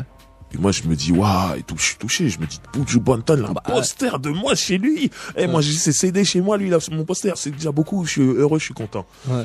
C'est pas 4-5 ans plus tard, il sort un morceau qui s'appelle Driver? Pas vrai. Où il parle plus des, des histoires des taximans qui veulent pas aller dans le ghetto. C'est pas grave. Ou des mecs, un mec qui dit au- justement au taximan, t'arrêtes pas ici, c'est dangereux, je sais pas quoi. Mais bref, moi, je sais comment c'est quand t'es en studio et que tu cherches l'inspiration. Ouais. Tu tournes ta tête un peu partout. Je pense qu'à ce moment-là, il a regardé mon poster Oh là là. et s'est dit, je vais faire une chanson qui s'appellera Driver. Et il a fait son truc. Tu lui as jamais parlé? Je le connais pas, j'ai jamais vu. Bon, il est en tôle. C'est Ah compliqué. bah là, là, ça- là maintenant c'est compliqué. Mais, Mais, mais j'étais fan, hein. Je suis encore plus fan. Ah bah je veux bien le croire, ouais, Ouais. tu m'étonnes. Non, mais incroyable. Quand il m'a raconté ça, j'étais traumatisé. Ouais, je veux, bien- je veux bien le croire. C'est incroyable, hein Incroyable. Ah. Donc c'était le- ma petite anecdote. Maintenant, nous allons parler de celui qui a vendu le plus de disques. Ouais. En tout cas, au moins sur un album. Il fait partie de ce petit club des rappeurs français qui ont vendu un million d'albums. Ouais. Ils sont pas beaucoup. Non. Il y a Doc Sans Gynéco- streaming. Oh, sans streaming, bien sûr. Ouais. Il y a Doc Gynéco dedans. Eh oui. Donc voilà. Un jour, je vous ferai la liste de ceux qui l'ont fait, le million. Mais aujourd'hui, c'est pas ça parce qu'on parle du secteur A. Mm. Donc on va pas s'attarder sur ça. J'ai commencé un peu à parler de, de Doc Gynéco en, début d'émission, voilà, par rapport au clip de Ministère Mère, il était en costard. Donc faut savoir que c'est un mec de Porte de la Chapelle, Stomy Bugsy. Un moment, déménage de Sarcelles et va vivre à Porte de la Chapelle et il rencontre Doc Gynéco là-bas et il le prend sous son aile, il l'amène à Sarcelles. Moi, la première fois que je vois ce mec-là, je le vois à Sarcelles, c'est Stomy qui le ramène. Je vois un mec qui se dandine de droite à gauche, qui me rappelle Snoop Dogg, Ah bah oui. première époque d'Efro, c'est-à-dire l'époque chronique et Doggy Style. Il est long, il est tout le temps- Afro. euh, ouais. voilà, il est tout le temps en train de se dandiner. De, de- de toute façon, Doc Gynéco se prenait pour Snoop à ce moment-là. Ouais. Et c'est tout doucement, avec l'aide de Stomy Bugsy, qu'il va se trouver lui-même. Mais voilà, en tout cas, ceux qui, ceux qui pensent que je mens, si vous vous rappelez du morceau What's My Name de Snoop, à un moment, il dit Follow me, follow me, follow me, follow me. Écoutez Autopsie de ministère amer et Ouais. vous entendrez Doc Gynéco en train de dire pas d'amis, pas d'amis, pas d'amis, je n'ai pas d'amis. c'était technique, c'était malin, tout ça, machin. Mais voilà, très influencé par Snoop. Et tout doucement, il va sortir de, de Snoop et il va se créer ce personnage avec l'aide de Stomy Bugsy, bien sûr, qui sera Doc Gynéco. Alors, pour ceux qui se demandent encore pourquoi Doc Gynéco, c'est parce que c'était un fan de Cunilingus. Euh, Il a raison. Pour parler euh, poliment, pour parler salement, il aimait lécher des chattes. Et à un moment. Stomy lui a dit, mais toi, pourquoi toujours tu veux lécher des chattes? T'es un, gynécologue ou quoi? T'es toujours en train de toucher ces chattes, tout ça, machin. Et il a dit, ah, ouais. Tu fais super bien la voix de Gynéco. euh, on l'a fréquenté à l'époque. et, et, et, et voilà, et puis euh, ils l'ont rebaptisé Doc Gynéco, et euh, c'était une super bonne idée. Ouais. Et il me semble que Kenzie avait trouvé ce truc. c'est la, c'est euh, quelle est la personne com- commun. euh, alors je sais plus quelle personnalité publique il avait cité et, et- et ta voisine, bah c'est le, le gynécologue. Donc c'est Doc Gynéco. Kenzie était fort en marketing. Ah, il était très fort. Elle Ah. avait toujours les, les bonnes formules. Et ce Doc Gynéco là, il, comme j'ai dit tout à l'heure, il- tout à l'heure, il avait un couplet très- plus que prometteur sur l'album, le deuxième album de Ministère Amer, donc les gens attendaient ce qu'il allait faire. Et là, je reviens sur cette histoire de Gare Charcel le bel L'album, première consultation, tourne en cassette, et nous, on entend déjà des choses extraordinaires. C'est-à-dire, moi, ce que j'entends, je sais que le mec, il va marcher. Par exemple, il y avait une version de Viens voir le docteur qui n'a rien à voir avec celle qui est sortie, qui pour moi était meilleure. Elle est sur la réédition de, euh, de Ah, première ah, consultation, le double album. Ouais. Ok, avec un sample de Marvin Gaye Ouais. et tout ça. Et surtout, en intro, il y avait euh, la voix de Bart Simpson. Exact. Il disait, oh, t'es triste, pourquoi t'es triste comme ça, non, non, non. Il parlait à cette fille qui, qui comme Brenda, euh, rêvait d'avoir hein, tout ça, tout le temps. Son, tout, euh, son Dylan. Voilà. Et il y avait cette chanson qui était cool. Et il y avait une version de Nirvana qui ressemblait pas à celle qui est sortie, qui était très cool aussi. J'adore celle qui est sortie aussi. Ah, elle est, euh, moi, c'est mon morceau préféré de l'album. Ça tombe bien, on va l'écouter. Donc, euh, Connexion. Voilà. voilà, non, il y avait vraiment énormément de, de, de, de pépites déjà sur le, sur le, sur la maquette qui était 5-6 titres. C'est-à-dire, nous, on sentait, il y avait une version de Vanessa. Ouais. où il dit c'est des trucs de ouf, là, je suis en train de repenser. c'est ma Mercedes sans capote. Ma Porsche sans capote. Mais- Et il faisait, tu vois, ce double sens où il te faisait croire que c'était le capot, la capote. Tu sais, trucs, tu sais qui fait, faisait ça? Non. R. Kelly sur euh, You Remind Me of My Jeep. Ouais, mais je suis en train de me demander. C'est à quel- 95. À quel moment c'est? Ouais, c'est à peu près la même période. Mais je suis pas sûr que euh, Ah, je, soit je- inspiré. je ouais. dis, je dis pas qu'il a copié. Hein. Ouais, ouais, ouais. Je dis juste que il y a eu deux grands esprits qui se sont Mais rencontrés à un moment ça pour dire que la première version de Vanessa, la musique était beaucoup moins bien, Ouais. mais euh, le texte Ouais, était beaucoup, beaucoup plus plus sale. Voilà. Ça, dans le double album réédition, il y a pas. Voilà. Mais euh, en tout cas, voilà, ils ont ramené, euh, comme je l'ai dit tout à l'heure, les, ils reviennent de Los Angeles. Ils ont mixé l'album là-bas avec Ken Casey, Ken Casey qui est un ingénieur du son qui a bossé sur certains morceaux de la bande originale de Menace to Society. Euh, à cette époque-là, Coolio est au top avec Gangsta Paradise. Ah ouais, c'est clair et net. Il y a une photo de Doc Gineco et Coolio qui traîne, une rumeur comme quoi ils auraient enregistré un morceau. Donc tout le monde est excité. Quoi Il a rappelé Coolio? Ah, c'est fou Il n'y a jamais eu de morceau. Ils nous ont bien eu. Mais... Eh, Euh, ouais. Juste du coup, une petite question. Ils sont partis à Los Angeles parce que euh, c'est Gineco qui voulait un album qui sentait la West Coast ou c'est Kenzie qui lui a dit serait bien que tu fasses un truc un peu différent? Moi j'étais moi j'étais pas là, je sais pas qui a eu l'idée mais en tout cas c'est clair que musicalement c'était West Coast. Ah oui. Donc c'était bien, il y avait du budget, c'était bien de, de partir mixer directement à Los Angeles. Ok. Donc euh, ça c'était cool, c'est réussi. En plus ils, ils ont pu travailler avec des musiciens de là-bas aussi. Donc euh, l'album est très musical et c'est ce qui fait qu'il vieillit très très bien. Ah oui. Voilà. En, Et, en euh, vrai, il vieillit pas. Moi pour moi Je il est dans mon top 5 des meilleurs albums de rap français Ah, de moi tous les aussi. temps. Ah Tu mais ce c'est clair. Cet album c'est une merveille, il est réussi, il s'écoute facilement. Moi, dans mon euh, top 5, il y a deux albums du Sector A, donc euh, Voilà. Après moi, bon, comme j'ai l'habitude de dire, les top 5 peuvent changer tout le temps. oui, mais en tout clair. cas, il en fait partie. Euh, première consultation, c'est un bijou. Et pareil, quand ça sort, ça cartonne pas tout de suite. Ouais. Il rame un peu.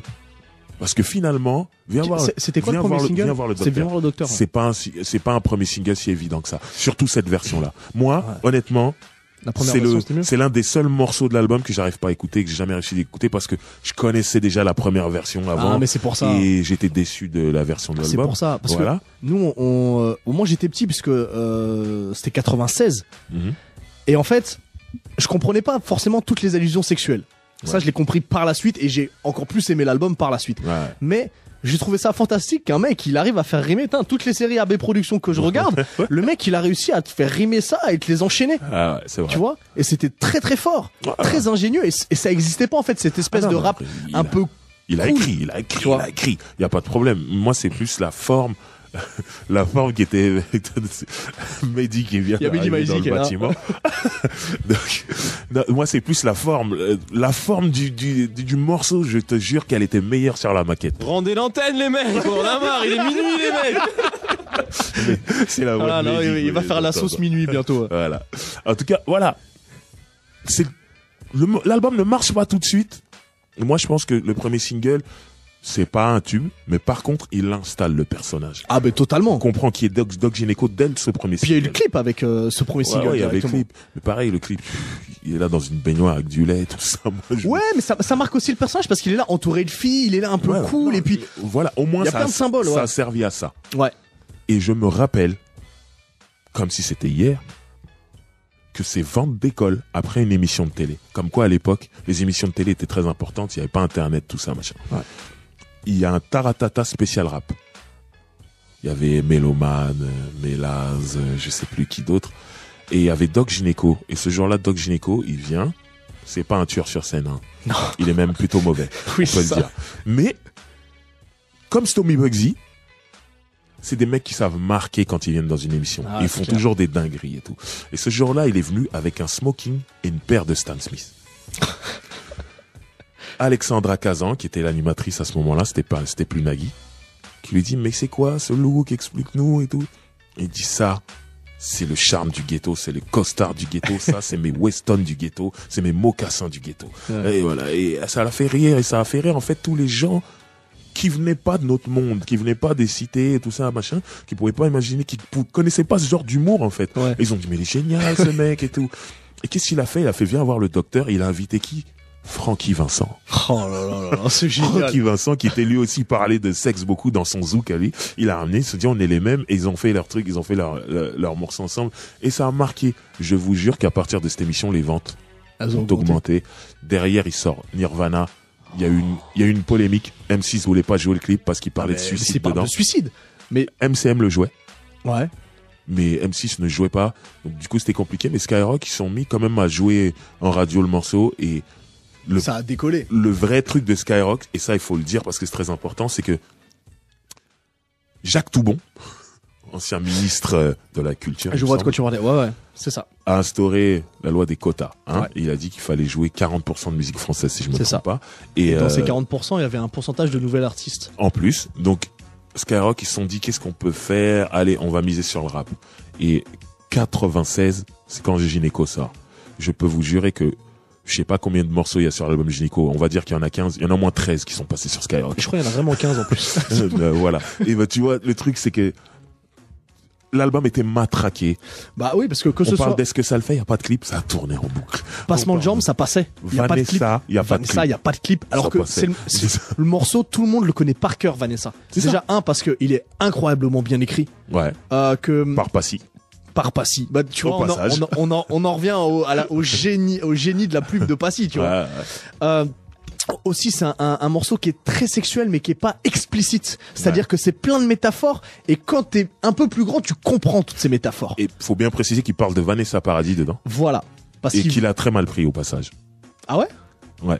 Parce qu'elle avait eu un problème avec, euh, euh, les forces de l'ordre parce qu'on l'a retrouvée avec une boulette de shit. Et lui, dans le morceau, il dit la boulette. La boulette, c'est dans, la chaussette. Petit Ouais. conseil à Emma Starlet. Oui, Et elle a très mal pris. Apparemment, un jour, ils se sont rencontrés dans une soirée. Il allait la voir. elle était, Ah, me parle pas, laisse-moi tranquille. tout ça. Elle était allée avec les mal en plus à l'époque, je crois. Ouais, sûrement. Mais, mais ce morceau, il est incroyable. Tu vois, moi, quand je l'ai découvert, j'étais un peu jeune et je comprenais pas exactement ce que c'était. Ouais. Je sais juste que c'était une Vanessa et nous, sans avoir l'explication, on savait pas si c'était Vanessa Paradis ou Vanessa Demouy. On sait pas Ouais, il y a beaucoup de laquelle. gens qui pensaient que c'était Vanessa Demouy. Parce qu'elle était Mais- beaucoup plus bonne, hein, mais Vanessa c'était moi.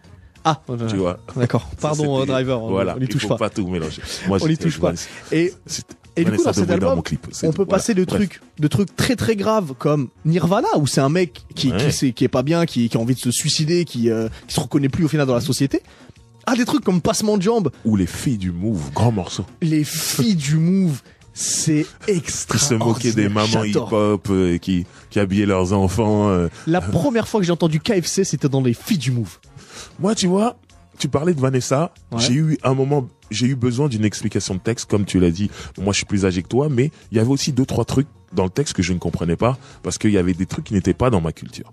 Ouais. À un Comme? moment, il a dit, je lis SAS pour me remémorer. Je suis allé voir Gynéco, je dis, mais c'est quoi SAS Moi, je connaissais ces livres. Il m'a dit, tu vois, c'est les, c'est les bouquins érotiques, là, tout ça. Et tout d'un coup, tout m'est venu, ah, mais il y en a dans le supermarché, on va de chez moi, ok, Eh je ben, vois là, là. En fait, Moi, je savais pas ce que c'était. Moi, c'était là, c'était à Auchan en fait, euh, quand on faisait les courses. Après, des fois, t'allais, euh, tu regardais pour les magazines pour les petits, et moi, je me retournais comme ça, et je voyais toujours les SAS Le qui étaient en haut, et il y avait des meufs toutes nues. Et- Le vieux pervers que tu es. Ah, les, les mecs du R&B. voilà. mais non, mais ça attire l'œil ces trucs-là. j'y Mais tu vois, euh, je suis, tout le monde sait que je suis monsieur anecdote, mais là, tu vois, tu me parles de ça, de SAS. Ça me rappelle un, un, un- un jour où j'étais à Châtelet-Léal et qui je vois arriver, Stomy Bugsy, avec Doc Gynéco. Euh, Gynéco, il a pas encore sorti son premier album, il est en train de le préparer. C'est pour ça qu'ils pouvaient marcher dans la rue. Voilà, il marche dans Châtelet avec Stomy et je leur dis bonjour, on discute un peu et tout. Et au moment où on se sépare, il se barre, je me retourne et quand je me retourne, je regarde Doc Gynéco dans sa poche arrière, il a un livre de cul qui dépasse. Mais vraiment avec la couverture, tu vois bien que tout le monde voit, il était dans la provoque et il était déjà en train de dire j'installe mon personnage, il faut que tout le monde sache que je suis un pervers, que je suis truc. Il marchait avec un livre de cul comme ça. de- Je dis mais non, mais complètement fou. Et c'était plein de trucs comme ça ce mec.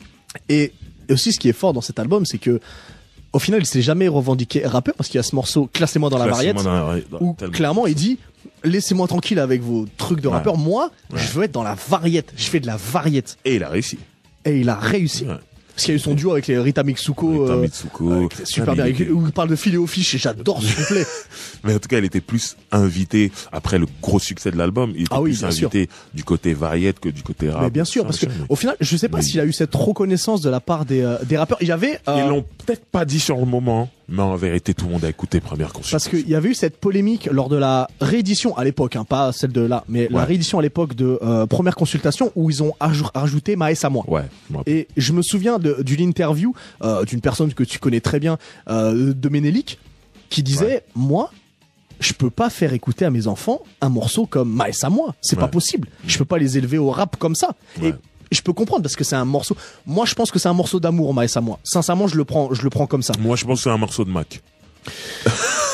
Ouais, moi, bon. je, moi, je le prends comme un, comme un morceau, comme un morceau d'amour, mais c'est vrai que c'est très sulfureux et, Ouais. et que dans le rap, les gens n'osaient pas, à ce moment-là, c'est peut-être ça qu'ils n'osaient pas le dire, mais il y a aucun rappeur qui citait Gynéco.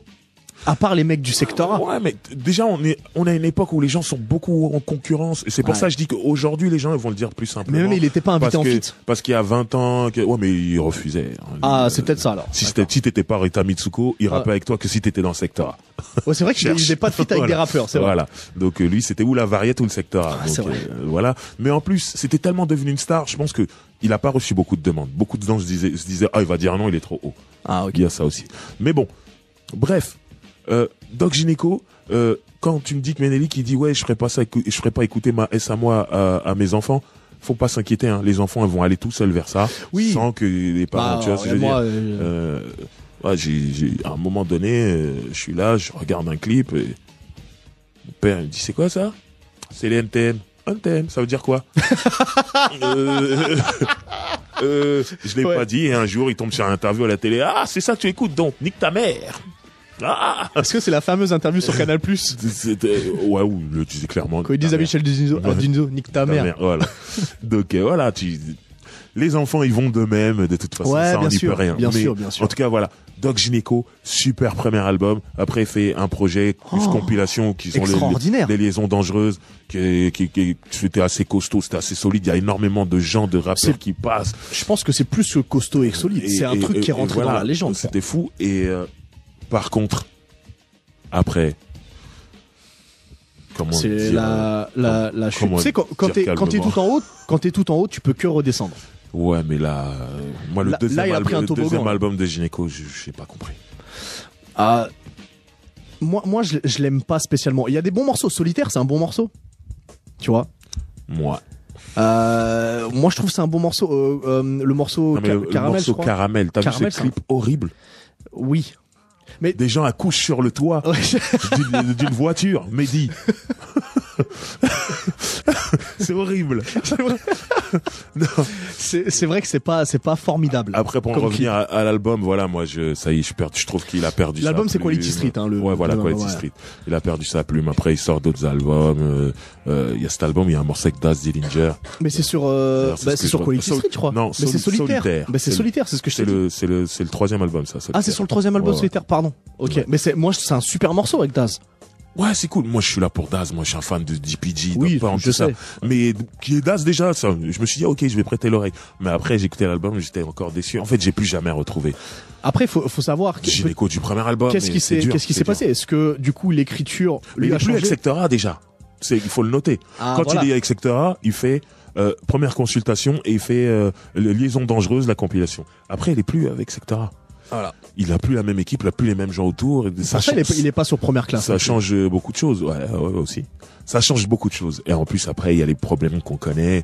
Je vais pas étaler dessus, mais voilà. Il s'est pas justement, il est parti de Sector A, il a pas pris Asia avec euh, avec lui justement pour la faire signer chez Virgin. Si, elle était pas chez Sector. Elle était pas chez Sector, Ouais. d'accord. Lui, il a monté son label. que Je sais plus c'était quoi le nom du, du label, j'ai C'était oublié. un, un, euh, c'était un truc à, à, qui avait à voir avec je Non, il y avait premier, premier, oh, je sais plus. Bref.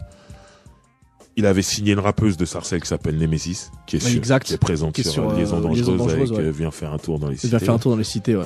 Il a signé Asia. Ouais. Et non, j'allais rentrer dans les détails. J'ai dit je mettais des filtres, je peux pas. Bref. Et la clinique, j'allais oublier la clinique. Ah bah Et évidemment, la clinique, eux, ils ont fait, de- ils ont fait la playa. euh, et qui a peut-être le plus gros le plus gros euh, couplet de Gynéco. Oh, sur le hostile, incroyable. Extraordinaire. Tout, saigne. Ce couplet-là de Gynéco. Mais tu vois, à c'est cette époque-là, il est avec Sectora. Eh ben, c'est tu, extraordinaire. tu vois quand même une différence artistiquement entre la période quand il était avec Sectora et quand il n'y est plus. Ça a Ah ouais. changé. Ah ben là, mais là, c'est il a- flagrant. Il a clairement perdu. Après, apparemment, il y a eu des détails. Je ne connais pas tout sur les détails de l'histoire de Doc Gynéco et puis de toute façon, je n'aurais sûrement pas raconté. Mais, mais voilà, mais en tout cas, voilà, il- artistiquement, il a vraiment chuté et ça correspond à l'époque où il est plus avec. Il y a, y pas de cause sans effet. hein. Il a marqué énormément. Il, il, il avait dit qu'il aurait fou. Il a marqué énormément. Mais dit qu'il mange un yaourt. Hein, Voilà. euh, Son premier, le yaourt de minuit. Son, pre- son premier album est un classique et Ah je bah le oui. répète euh, pour et moi intemporel. top 5 facile. C'est clean, vous êtes bien dans l'émission Roule avec Driver. Et là, on a, on a parlé de Doc Gineco, on a écouté deux morceaux de Doc Gineco, mais là on va parler d'un artiste qui n'a pas eu le succès. Depuis tout à l'heure on parle d'artiste à succès, et celui-là il n'a pas eu le succès. Mais il était important, parce qu'il s'appelle Ahmed Day, et Mm. qu'à la base il était dans le ministère amer. Ouais. Dans, en début d'émission on a écouté un morceau de ministère amer qui s'appelle Traître. C'est lui qui fait le refrain. À la base, il avait même un couplet, mais bon, à un moment, il s'est retiré de la musique très tôt. Après, il est revenu et il s'est re-retiré. Mais bon, bref, en tout cas, c'est un mec qui avait une voix, Il avait une grosse voix. grosse euh, voix, ouais, bien particulière, très imposante. c'est clair. C'est un mec qui avait une certaine écriture et qui, en début de carrière, était même très sulfureux. Mm. Et je vous conseille le, sur le deuxième album de Ministère Amer 95200 le morceau Je suis pas venu en touriste Mm. où il a un couplet incroyable. Et Ahmed Day, ça ça va te plaire, c'est un très grand basketteur qui a qui est à deux doigts d'être professionnel. Mais il y avait un truc, Passy, il nous parlait de basket aussi, tous les deux, ils devaient, euh, ils devaient jouer. Ouais. hein. Ouais, après, euh, euh, Ahmed était beaucoup plus fort que Passy. il a dû venir ici euh, vous raconter des, des, des Il a, il a, il rien, non, il a rien dit Il a dit spécial. qu'il était trop fort. Non, il a rien Bon, dit va spécial. De toute façon, je le défendrais, même si ouais, je le dirais pas. ouais, je l'aurais grillé. Non, non, il a rien dit Passy spécial. était un joueur de baseball, mec. Non. Ouais, et on avait une grosse équipe à Sarcelles. Ah. Et Passy était très fort au baseball. Ahmed Day, basketteur, et sur le seul album qui sortira finalement, qui s'appelle Or L'Or Noir. L'Or Noir, euh, il a un morceau où il y a Georges Eddy. Exact. Oui, oui, bien sûr. un morceau Bien sur sûr, basket, bien sûr. ça. Donc, comme quoi c'était très important pour lui. Ouais. Mais le morceau finalement qui aura marqué, c'est un morceau qui est sur Hostile 2 ou Hostile 2000, je sais plus comment ça s'appelle. Je crois que c'est Hostile 2 ça. L'Indépendance Day. Featuring Lino. Day. Ouais. Le morceau est incroyable. Extraordinaire. Et euh, finalement, c'est son point d'orgue. Et pour la petite histoire, je me rappelle d'un live qu'ils ont fait au Hit Machine. Hit Machine, c'était très crossover. Hein. C'était très grand public. De Mylène Farmer les- à. les- voilà, c'était ouais. c'était les gros morceaux, les tubes. Et le mec, il a joué. Hit Machine a décidé de laisser Ahmed Day faire l'Independence Day, alors que c'était pas un morceau euh, de super radio. Ah non. Et lui, il a décidé de venir avec tout le secteur. La vidéo est trouvable sur. YouTube. Ils sont tous là. C'est la première fois que je vois autant de monde sur la scène de Hit Machine. C'était fou. Et euh, ça a marqué l'histoire. On va pas pouvoir trop s'attarder sur lui, malheureusement, parce que comme je vous l'ai dit, il a qu'un album. Et puis on rappellera, il, faisait aussi les, ba- succès. les bacs de Passy sur le Et de. Stomy. Et de Stomy. Euh, C'était quelqu'un de très important. Puis il écrivait aussi pour Et- les autres. Il avait une belle euh, plume. Et, surtout, euh, c'est marrant, c'est bien que tu dis ça, c'est que cette histoire de bac, là, de partir en tournée avec les mecs, ça l'a beaucoup ralenti. À chaque fois, on lui disait, fais ton album. Ouais. Ok, j'arrête la tournée avec Stomy, je vais faire mon album. Pas s'il part en tournée, ah, tu veux venir? Ah ouais, j'y vais. Et il faisait pas l'album. Tu vois, et à un moment donné, il y a aussi le timing qui est important. Il faut que tu sortes ton album au moment où on t'attend. Et lui, il est peut-être resté trop longtemps sur la route, mais euh, il a vécu des belles choses. hein. Et sur cet album, il y a euh, moi mon morceau préféré. Au final, j'avais jamais compris jusqu'au jour où tu me l'as expliqué. C'est le morceau La Thaïlandaise, Voilà. Qui au final il parle du riz. Ouais, c'est une histoire d'amour. euh, On a l'impression qu'il parle d'une femme Ouais. de Thaïlande, mais il parle de riz, Mais au de final, riz thaïlandais. quand, quand tu me l'as expliqué, je l'ai réécouté. J'ai dit ah ouais, en fait, Ah c'est, c'est- ça se voit qu'il parle de riz. Exactement. Il est fou ce mec. Maintenant, nous allons parler de Pete Bacardi. Depuis ton Mike. Voilà, Pete Bacardi, il est à ce moment-là, il est connu comme étant chez Time Bomb. Mm. Et euh, j'ai même envie de dire, il est connu comme étant de Paris. Et il va signer chez Première Classe, qui est le label des Nègres Marrons, avec des potes à eux, et qui finalement, pour certains projets, va être sous secteur A, notamment euh, en ce qui concerne Pete Parce qu'on rappelle que Time Bomb c'était terminé. Hein. Non, c'était pas terminé, mais Oxmo était toujours là-bas. Oxmo exemple. était toujours Ouais. D'accord. Mais euh, Pete est parti et voilà. Après, pour ces raisons, je ne sais pas, c'est lui qui les connaît. Mais euh, je précise qu'il est de Paris parce que au final, à ce moment-là, à part Doc Gineco et on connaît le lien, c'est Stomy Bugsy qui déménage dans Paris 18e port de la Chapelle. Secteur A signe beaucoup des gens des environs en fait, Ouais. de Gare, Sarcelles, Villers-le-Bel. Et là, ils vont signer euh, donc Pete Bacardi qui vient de Paris 19e pour être précis et euh, Gineco, même s'il est de Paris 18e, j'ai dit il y a un lien avec Bugsy. Et là, c'est la première fois que vraiment, moi, je sens le secteur A comme une maison de disques. Pas juste un label familial et tout. Là, ils sont prêts à aller chercher des gens ailleurs. Ouais. Et euh, ce qui est bien, c'est que on retrouve le succès tout de suite. Et à cette époque-là, ils ont ce truc un peu, euh, ok, on doit faire un morceau pour la radio, on met Doc Gynéco dessus. Et ça sera radio. Hmm. Et ça donne le morceau, on se laissera pas faire. Qui est un super morceau. Ah oui, c'est clair. Euh, Pete Bacardi. Et c'est le premier morceau qu'ils envoient en radio. Et le truc. C'est l'album euh, Le poids des mots là. Tu crois que l'album s'appelle juste Pete Bacardi, il me semble. Ah peut-être. Ouais. Je sais plus. Il est habillé tout en blanc sur un fond blanc, tout ça. Ah oui, exact. Ouais, Voilà. ouais, c'est ça. Et, et, et le morceau tourne bien, il y a pas de clip, mais en vérité, le rat de marée, tout le monde se disait oui, c'est Gynéco, tout le rat de marée, il arrive sur ce morceau qu'il écrit en Sa hommage mère. à sa mère, Ouais. si loin de toi, qu'on va écouter Une aussi. super chanson, après. très Et- belle. Et là, là, il casse tout l'album, connaît le succès aussi directement. Et vraiment, Sectora, il marche sur l'eau pour de vrai, hein. Tout ce qu'ils font, ça marche. Ouais. Et euh, voilà, donc euh, Pete Bacardi, c'est un peu cette première signature qui vient d'ailleurs et qui connaît le succès directement. Et ce qui est bien, c'est que Première Classe, le label, donc qui est sous Sectora à ce moment-là, pour certains projets, pas tous, ils ont déjà la première compilation Qui a cartonné. qui a cartonné. Donc ils marchent vraiment sur l'eau. Ouais. Tout ce qu'ils produisent marche vraiment. Et donc Pete Bacardi, album qui a marché et c'est mérité. L'album est plus que solide. Mm. Il y a des super morceaux dedans. Puis c'est un super rappeur, Pete. hein. Ouais, ouais, je pense euh, euh, un morceau comme Qu'un freestyle avec euh, Roth et Kerry James qui est euh, ce Oui. morceau magnifique où Kerry James dit moi dans le rap je, je, je, je me balade en slip comme à la maison j'ai j'ai trouvé ça magnifique il a il a un morceau qui s'appelle euh, Journée de dealer que j'aime beaucoup où il reprend un peu Snoop euh, dans la basse tout ça euh, il y a énormément de C'est un bon morceaux album, ouais. trafic d'influence Trafic d'influence, ça. qui était sur Si la BO de, de trafic euh, d'influence Trafic d'influence, ouais. si j'étais Si j'étais, ouais. A Où il rappe, où il rappe très très sale Ouais, dans ouais, Si j'étais, ouais. Franchement, il a, il a des super morceaux. Ouais. Et l'album fonctionne. Après, il y a l'album d'après qui sort aussi. Ça, C'est le poids des mots, du coup, le celui d'après. C'est celui où il y a Enfant du Ghetto. Ouais, c'est le poids des mots. Que le dernier, c'est Ghetto Ambianceur. Non, Ghetto, sûr, c'était le EP. C'était un EP. Entre les deux albums, peut-être. C'est celui où il y a le morceau avec Joe. Ouais, Ouais, ouais, ouais. Ouais, voilà.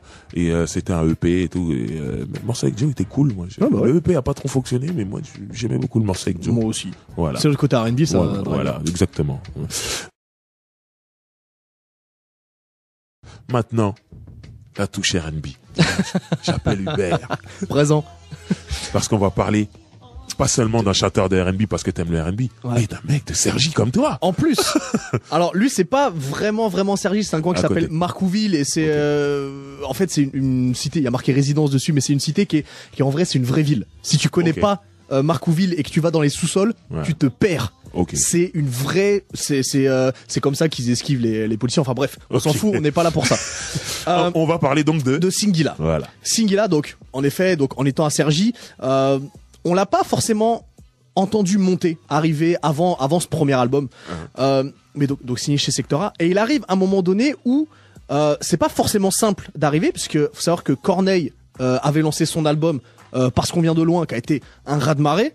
C'est au même, c'est à peu près la même C'est à la même époque. Ah, c'est exactement la même époque. C'est à quelques mois d'intervalle. Au niveau du R&B, vraiment R&B français, on attend toujours ce deuxième album de Vibe qui est qui est toujours pas là, donc euh, Ouais. donc on sait pas vraiment qui va prendre la relève. Matt Houston, l'album qui est sorti euh, après R&B de rue, ça a pas marché, Mhm. donc on sait pas ce qui va arriver. Et Singila arrive avec un R&B complètement différent, c'est-à-dire qu'on on parlait de Matt avec R&B de rue, lui il est arrivé avec du R&B de Kaira parce que sa façon de chanter c'était très street Ouais. tu vois euh, et, et sa façon de- d'aborder les sujets alors très très sexuels c'était une façon on, on dirait qu'il prenait nos mots à nous. Tu vois que ce soit sur euh, euh, préparatif sur euh, Aïcha sur euh, ma conscience. Le premier single c'est ma conscience où il parle que Un storytelling. un storytelling où il dit ouais j'ai une go mais je la trompe avec quelqu'un d'autre. Qu'est-ce que je fais? Ma conscience elle me dit de faire ça faire ça. Et au final on, s- on, on se rend compte que moi j'avais déjà grandi j'étais au lycée à ce moment-là. Donc je me dis putain mais merde je, je fais- j'ai vécu la même histoire je, je comprends ce qu'il veut dire. Et ça a été ça en fait. La force de Singila c'est de mêler le ghetto l'amour et le chant Ouais. tu vois, il a réuni ces trois-là. Euh, le premier album, il y a un featuring d'ailleurs avec Jackie sur un morceau très rap à la fin. Et il a une posture, une attitude très euh, thug mais sympathique parce que il est habillé euh, en, en baggy triple XL et en, en veste de, de, de motard, Ouais. tu vois. Et il est, il est assis sur un, un, un espèce de gros fauteuil mais avec un sourire. Et c'est on ne vit, on ne vit qu'une fois, tu vois. C'est l'air de dire c'est on est là, anec- J'ai une yolo. anecdote sur cette, cette photo. Vas-y. En fait, pendant des années, euh, comme je l'ai dit, les bureaux de secteur Est en bas de chez moi, et il y avait ce poster, le poster de De Singila du- ouais, de Singila, de la, pho- qui est la photo du premier album, qui était euh, affiché comme ça sur la vitrine et tout. Et un jour, je sors de chez moi, et il y a des petits qui sont là, tous les petits savent que je suis un rappeur et tout, donc il me dit- y en a un qui me dit, monsieur, monsieur, monsieur. Je dis, oui, et tout. Il me dit, vous allez à Saint-Gouila? je dis, quoi? Il dit, vous allez à Saint-Gouila? Je dis, c'est quoi ça? Il dit, ben là, là, la maison de disque, là. Et en fait, au lieu de lire tout en haut l'enseigne, l'enseigne secteur A, lui, vu- le poster. Ah, il a vu le poster, Il a ah, vu bon, qu'il qu'il appelait Saint-Gouila, et pour lui, euh, ce label s'appelle Saint-Gouila. Donc Ouais. il me demandait, vous allez à Saint-Gouila? C'est là que j'ai pensé. L'affiche, et ça m'a fait rire et tout, donc voilà. Et, euh, et, et, euh, rapidement sur Singila, ce premier album, il est peut-être pas super bien écrit, tu vois, c'est encore très euh, euh, naïf, je trouve. Mais par contre, là où les, pour moi son top, c'est sur ce deuxième album qui est Ghetto Compositeur, Ok. euh, qui est, euh, je pense, beaucoup mieux écrit et surtout de, de meilleures mélodies. Je sais pas s'il est encore chez Sector A à ce moment-là. Mais euh, non, c'est 2005, donc je crois il y a plus. Euh, Ouais, c'est possible. Ouais. Bon bref, il est il est plus chez Sectora. Et cet album, pour moi, il est parfait de A à Z. Il y a rien à jeter. C'est mon album préféré de euh, de Singila. Il y a Mehdi qui nous filme. On peut même pas travailler tranquillement ici. Et euh, et donc voilà, ouais, Singila, c'est la touche R&B qui me manquait un petit peu à Sectora. Je pense que ça arrivait un peu trop tard parce que ça aurait été bien avec tous les rappeurs de Bah, faire quelque chose. Mais Singila, on l'a on l'a reçu d'ailleurs. Il a marqué le R&B à juste titre. Il a quatre albums et euh, le meilleur c'est euh, des histoires rocambolesques. exactement Le meilleur, donc pour toi, c'est Ghetto, Ghetto Compositeur. Compositeur. J'ai adoré faire cette émission. Moi aussi. Parce qu'on a parlé de euh, be- beaucoup d'artistes qui ont marqué euh, le rap français, le, le reggae, le R&B, mais aussi parce que tout ce mouvement, il est né en bas de chez moi et que ça me touche particulièrement, voilà, et que j'ai vécu le truc de très près et euh, donc euh, je suis fier de tout ce qu'ils ont fait ces mecs-là, vraiment. Et je voulais terminer l'émission avec un projet du secteur A qui n'a pas connu le succès. Mm. Du coup, il y en a beaucoup qui se sont pas penchés dessus, qui n'ont pas écouté, mais dedans il y avait des bons morceaux. Je parle de Futuristique Ah oui. le groupe de Chrono et Nubi. Ouais. Et il y avait un clip qui tournait un peu sur le câble et tout. Et euh, c'est pas ce morceau-là que j'aimerais mettre en avant. J'aimerais mettre en, en avant deux morceaux bien spécifiques parce que c'est deux solos. C'est les seuls solos qu'ils ont eu sur l'album. Il y a un solo de Nubi qui s'appelle Ish Madinina Bien sûr. et il y a un solo de Chrono qui s'appelle Reste toi-même où il est juste magnifique et, et- et peu de gens connaissent ces morceaux-là. Donc j'aimerais terminer l'émission avec ces deux morceaux et dire que le secteur A, c'est quelque chose de très important dans le rap français. Ouais. Donc moi personnellement, j'ai envie de dire merci à tous ces gens-là pour tout ce qu'ils ont fait Moi aussi. pour la musique, pour la culture et pour moi-même.